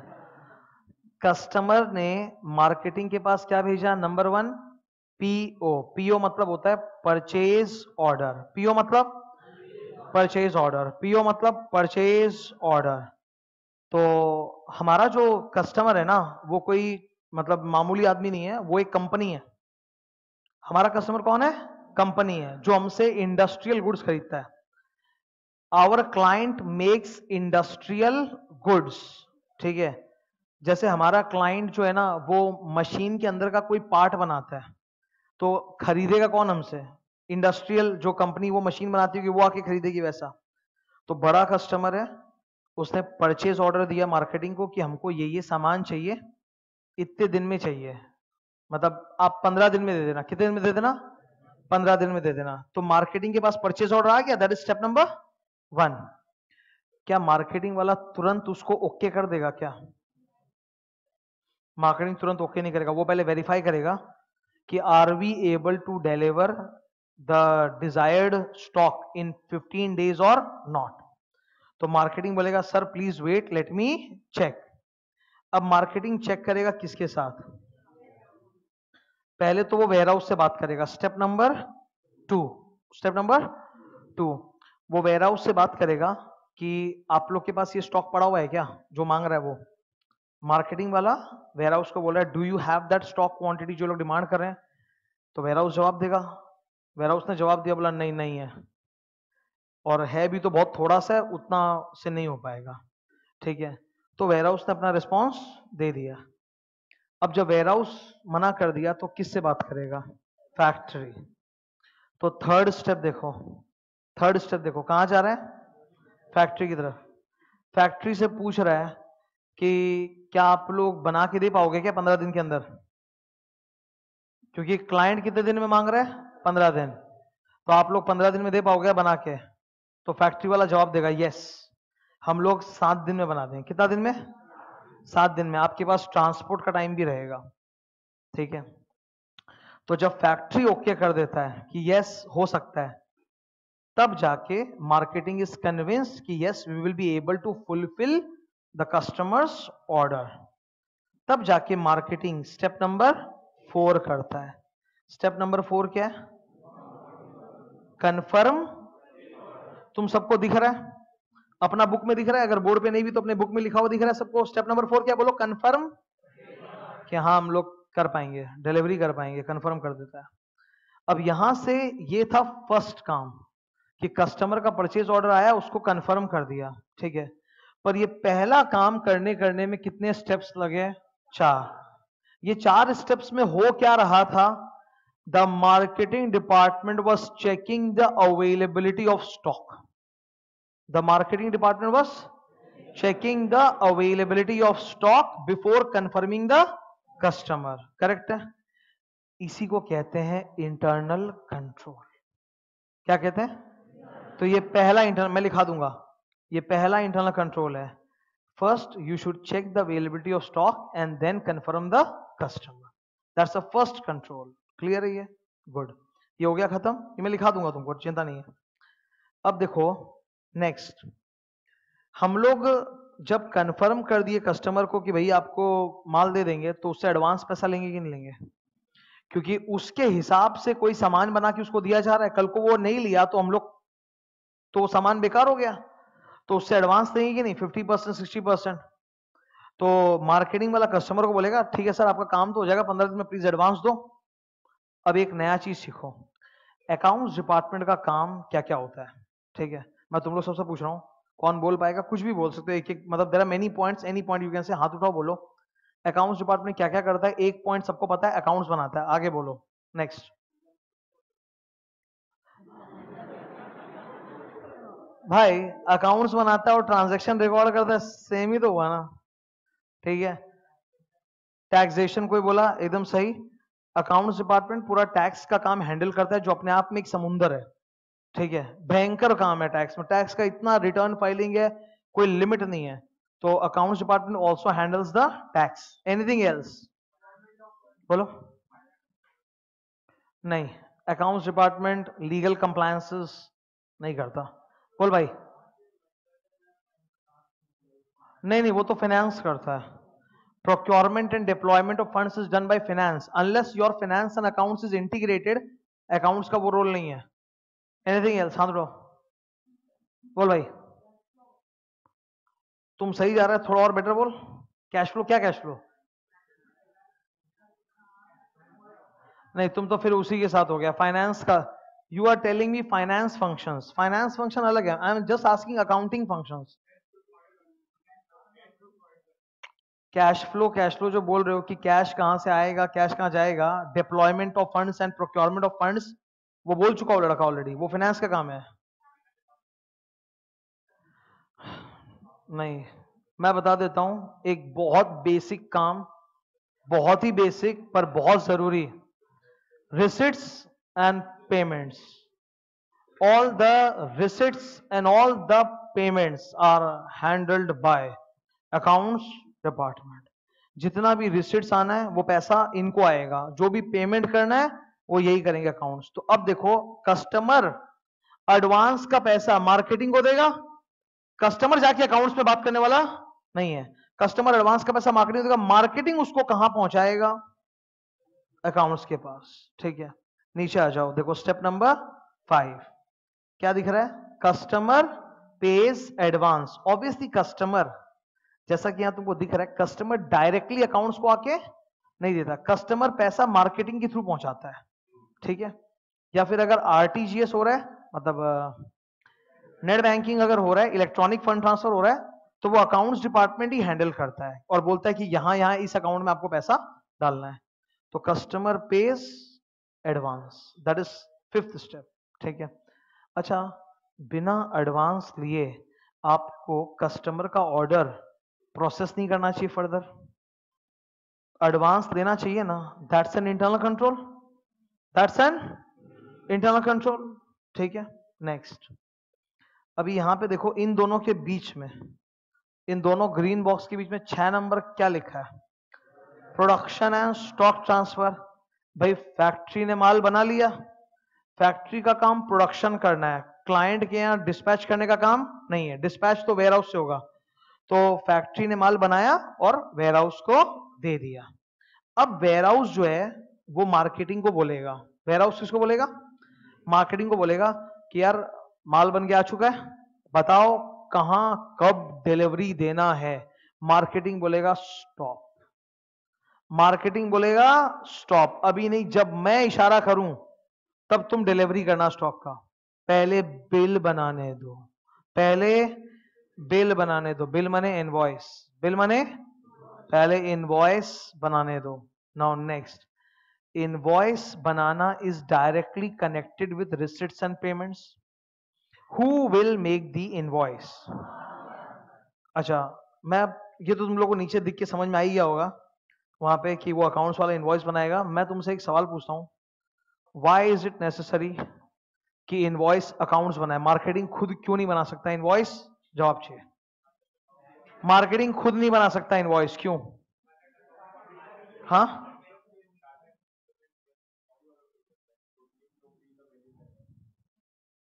क्या भाषा में बात कर रहे हैं? उस अकाउंट्स सिंपल भाषा में बोलो।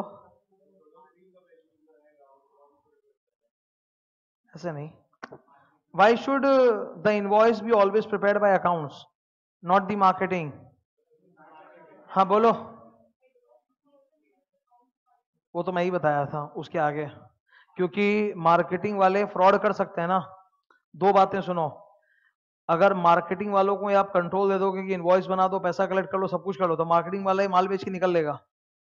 ठीक है? अकाउंट्स को पता भी नहीं चलेगा। दूसरा इनवॉइस बनते ही तो सेल्स का एंट्री रिकॉर्ड होगा सिस्टम में। Who is responsible for accounting accounts department जैसे ही वो लोग अपने सिस्टम से इनवॉइस जनरेट करेंगे, वैसे ही तुरंत उनका सेल्स का एंट्री पास हो जाएगा। वरना अगर आपने इनवॉइस का काम अकाउंट से नहीं कराया there will be error of omission every time error of omission याद है? एरर ऑफ़ ओमिशन का मतलब होता है ट्रांजैक्शन हैज़ बीन ओमिटेड वो रिकॉर्ड ही नहीं हुआ। जब अकाउंट्स डिपार्टमेंट खुद इनवॉइस बनाएगा तो सिस्टम से जैसे इनवॉइस जनरेट होगा, तुरंत सेल्स का एंट्री पुट कर लिया जाएगा। समझ में आ रहा है? या तो सेल्स का एंट्री इमीडिएटली पास हो जाएगा, या सेल्स के एंट्री को होल्ड पे डाल दिया जाएगा कि एक बार रिस्क एंड रिवॉर्ड पास हो जाए, फिर एंट्री जाएगा। पर हो जाएगा। एक सब्सिडेरी एंट्री क्रिएट हो जाएगा सिस्टम में to avoid any error of omission तो मार्केटिंग ने इसको बोला, सात number step request invoicing correct अब ये अकाउंट्स वाला एक इनवॉइस बनाएगा कि चार? चार। चार इनवॉइस बनेगा। चार इनवॉइस किसके लिए बनेगा? एक तो मार्केटिंग खुद रखे अकाउंट्स खुद रखेगा अपने पास। Copy number A copy number A highlight करने का दरकार नहीं है। कॉपी नंबर ए अकाउंट्स खुद रखेगा। एक कॉपी मार्केटिंग के लिए, एक कॉपी वेयर हाउस के लिए, एक कॉपी कस्टमर के लिए। फैक्ट्री को इनवॉइस की ज़रूरत नहीं है। Marketing accounts warehouse customer तो अब आठ नंबर स्टेप बनाया चार इनवॉइस और दे दिया किसको? मार्केटिंग को। अब मार्केटिंग एक कॉपी अपने पास रखेगा और दो कॉपी किसको दे देगा? वेयर हाउस को, ठीक है? दो कॉपी किसको दे देगा? वेयर हाउस को। अब वेयर हाउस क्या करेगा तुम देखो। वेयर हाउस डिलीवरी निकालेगा सामान का, ठीक है? तो what is step number nine delivery of goods ये रीड हो पा रहा है भाई। तो वेयर हाउस ने डिलीवरी निकाल दिया गुड्स का। That is step number nine साथ में ट्रक के ऊपर देखो। दो कॉपी भेज रहा है। क्यों भेज रहा है? मैं बताऊँगा। एक कॉपी वो कस्टमर के पास जाएगा और कस्टमर को दे देगा, सर, ये आप रखो। एक कॉपी आप रखो, आपका रिकॉर्ड कस्टमर को भी तो इन्वॉइस चाहिए। और दूसरी कॉपी पे कस्टमर को बोलेगा कि आप लोग अपना स्टैंप एंड सील कर दो सिग्नेचर कर दो, ताकि प्रूफ रहे कि हमने आपको माल डिलीवरी किया है। एक प्रूफ चाहिए ना डिलीवरी का, वरना कल को आप लोग बोलोगे गुड्स आए नहीं आपके पास तो एक प्रूफ रहना चाहिए। तो सी नंबर इनवॉइस जो है, उस पर कस्टमर अपना साइन स्टैंप करके वापस दे देगा। That's known as ten number acknowledge in invoice acknowledge invoice serve as a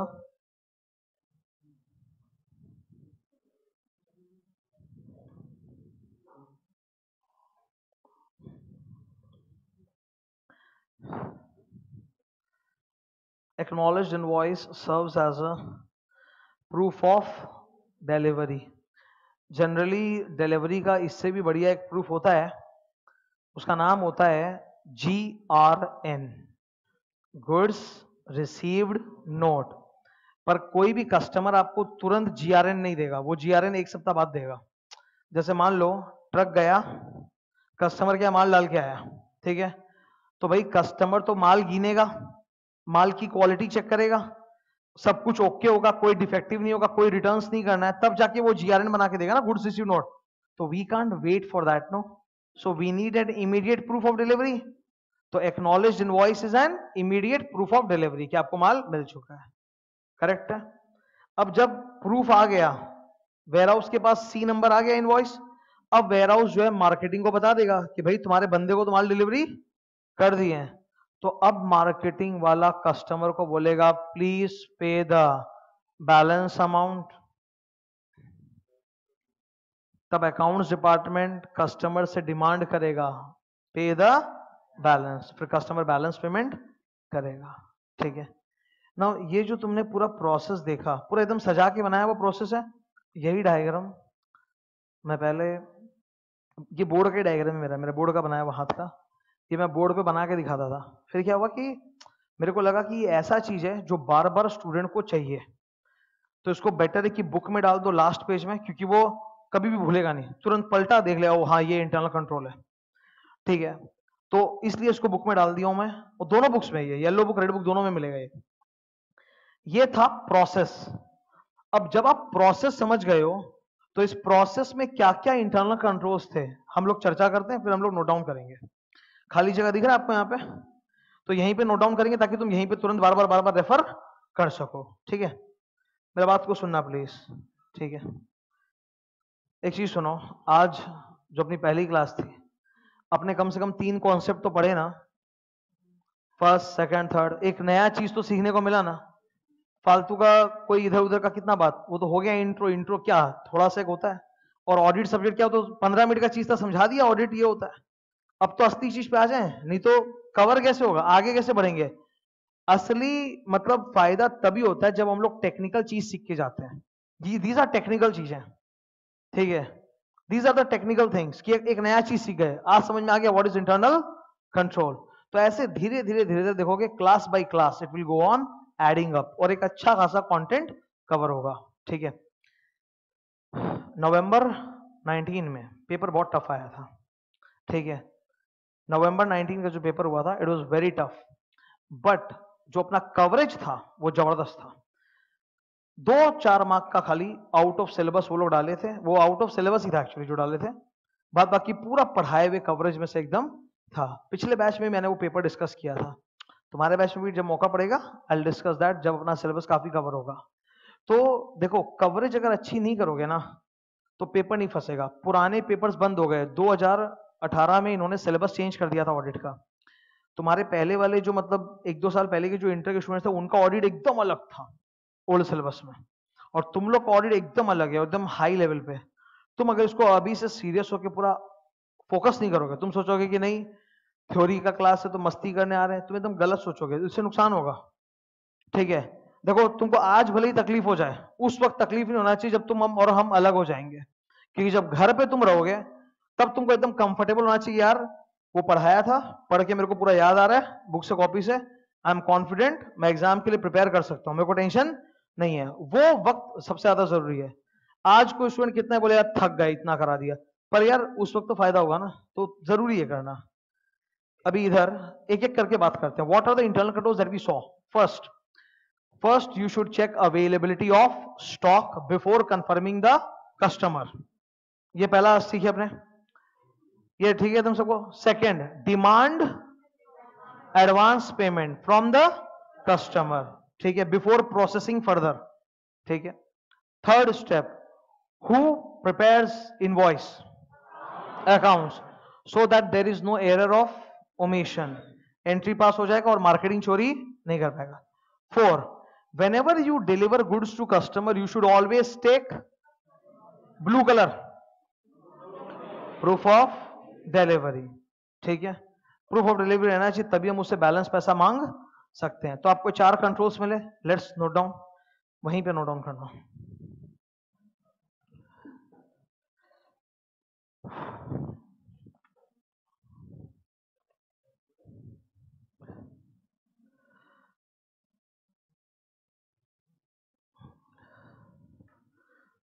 start um, कर रहे हैं। Internal controls. Number 1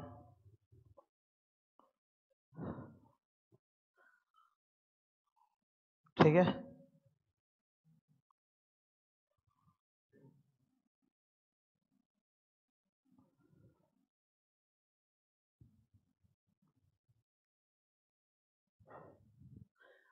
last bench इधर से, मेरी साइड से। भाई दिख रहा है, देख तो बोर्ड पे एक बार। ठीक है? अभी क्लियर एकदम? पॉइंट नंबर वन क्या लिखा है मैंने? रीडेबल उधर कॉर्नर में रीडेबल एकदम? ठीक है। Check stock availability before confirming PO PO का फुल फॉर्म अब ये सब लिखने की ज़रूरत नहीं, ये सब स्टैंडर्ड है बॉस सबको मालूम है। अब अकाउंट्स को भी क्या तुम पूरा लिखोगे कि ACC U N T S you know A by oblique is account ठीक है? All receipts and payments handled by accounts department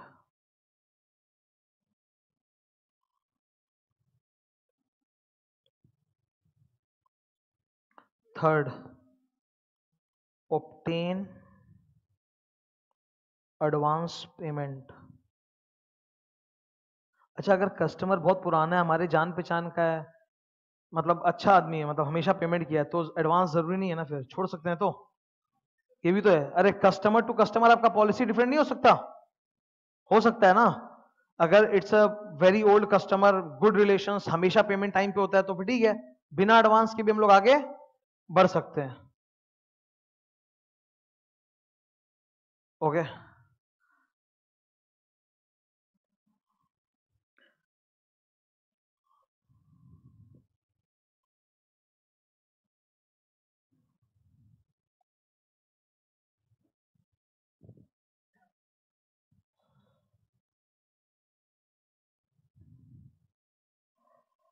invoices should be prepared by accounts department.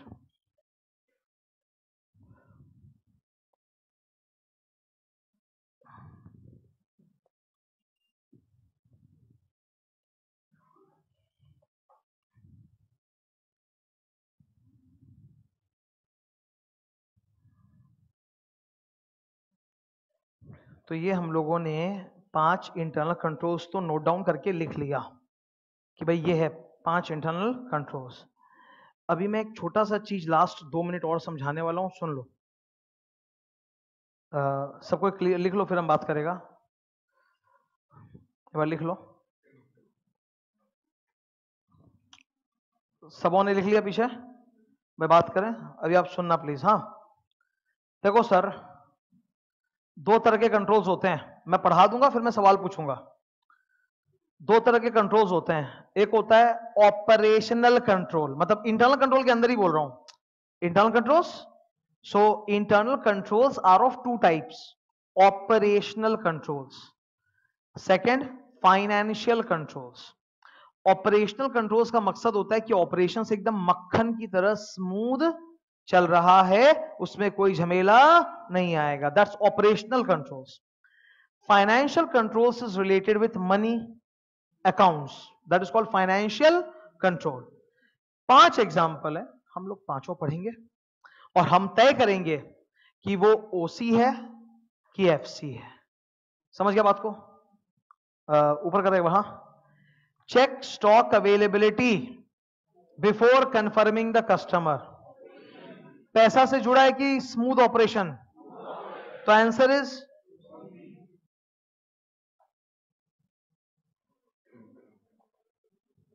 सोच पा रहे हो?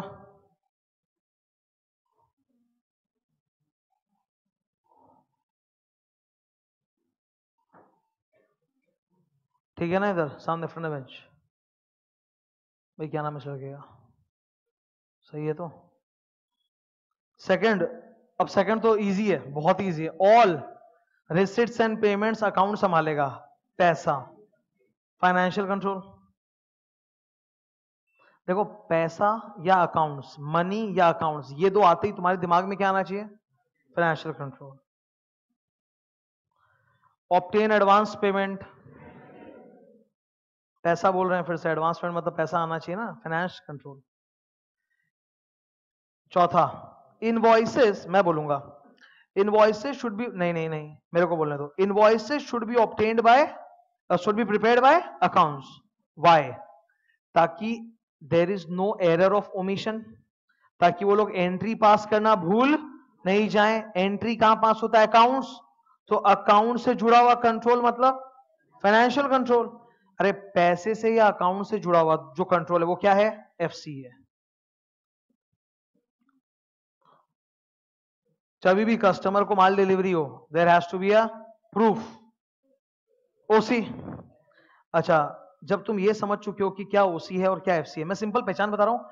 Whenever a control is related to money और account it's FC otherwise it's OC now I have a question for all of you as the auditor of the company as the auditor of the company what matters more to me OC की FC correct है? बाजू में लिखते हो एक line last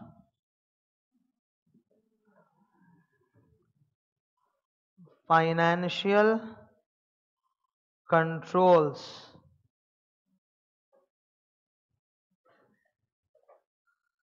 Matter more to the auditor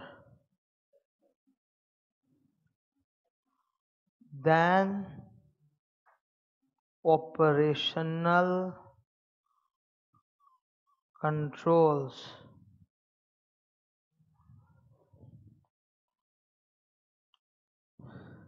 अगर financial controls अच्छे हैं तो मिस्टेक का चांस कम है। तो हमको तो मिस्टेक ही ढूँढने आया ना हम। हम कोई आपका स्मूथनेस ऑफ़ ऑपरेशन चेक करने तो आया नहीं है। हम क्या चेक करने आया है? फाइनेंशियल स्टेटमेंट कि भाई एमएमएस तो नहीं है मिस्टेक तो नहीं है। तो फाइनेंशियल कंट्रोल अगर बढ़िया है तो एमएमएस के चांसेस एकदम कम है। We stop our discussion over here. We have completed three concepts today, first, second and fourth. ठीक है? So in the next class this batch we will be discussing third fifth six onwards and chapter one okay stop करता हूँ मैं। लिखना हो गया सबका? ठीक है? स्टॉप करते हैं।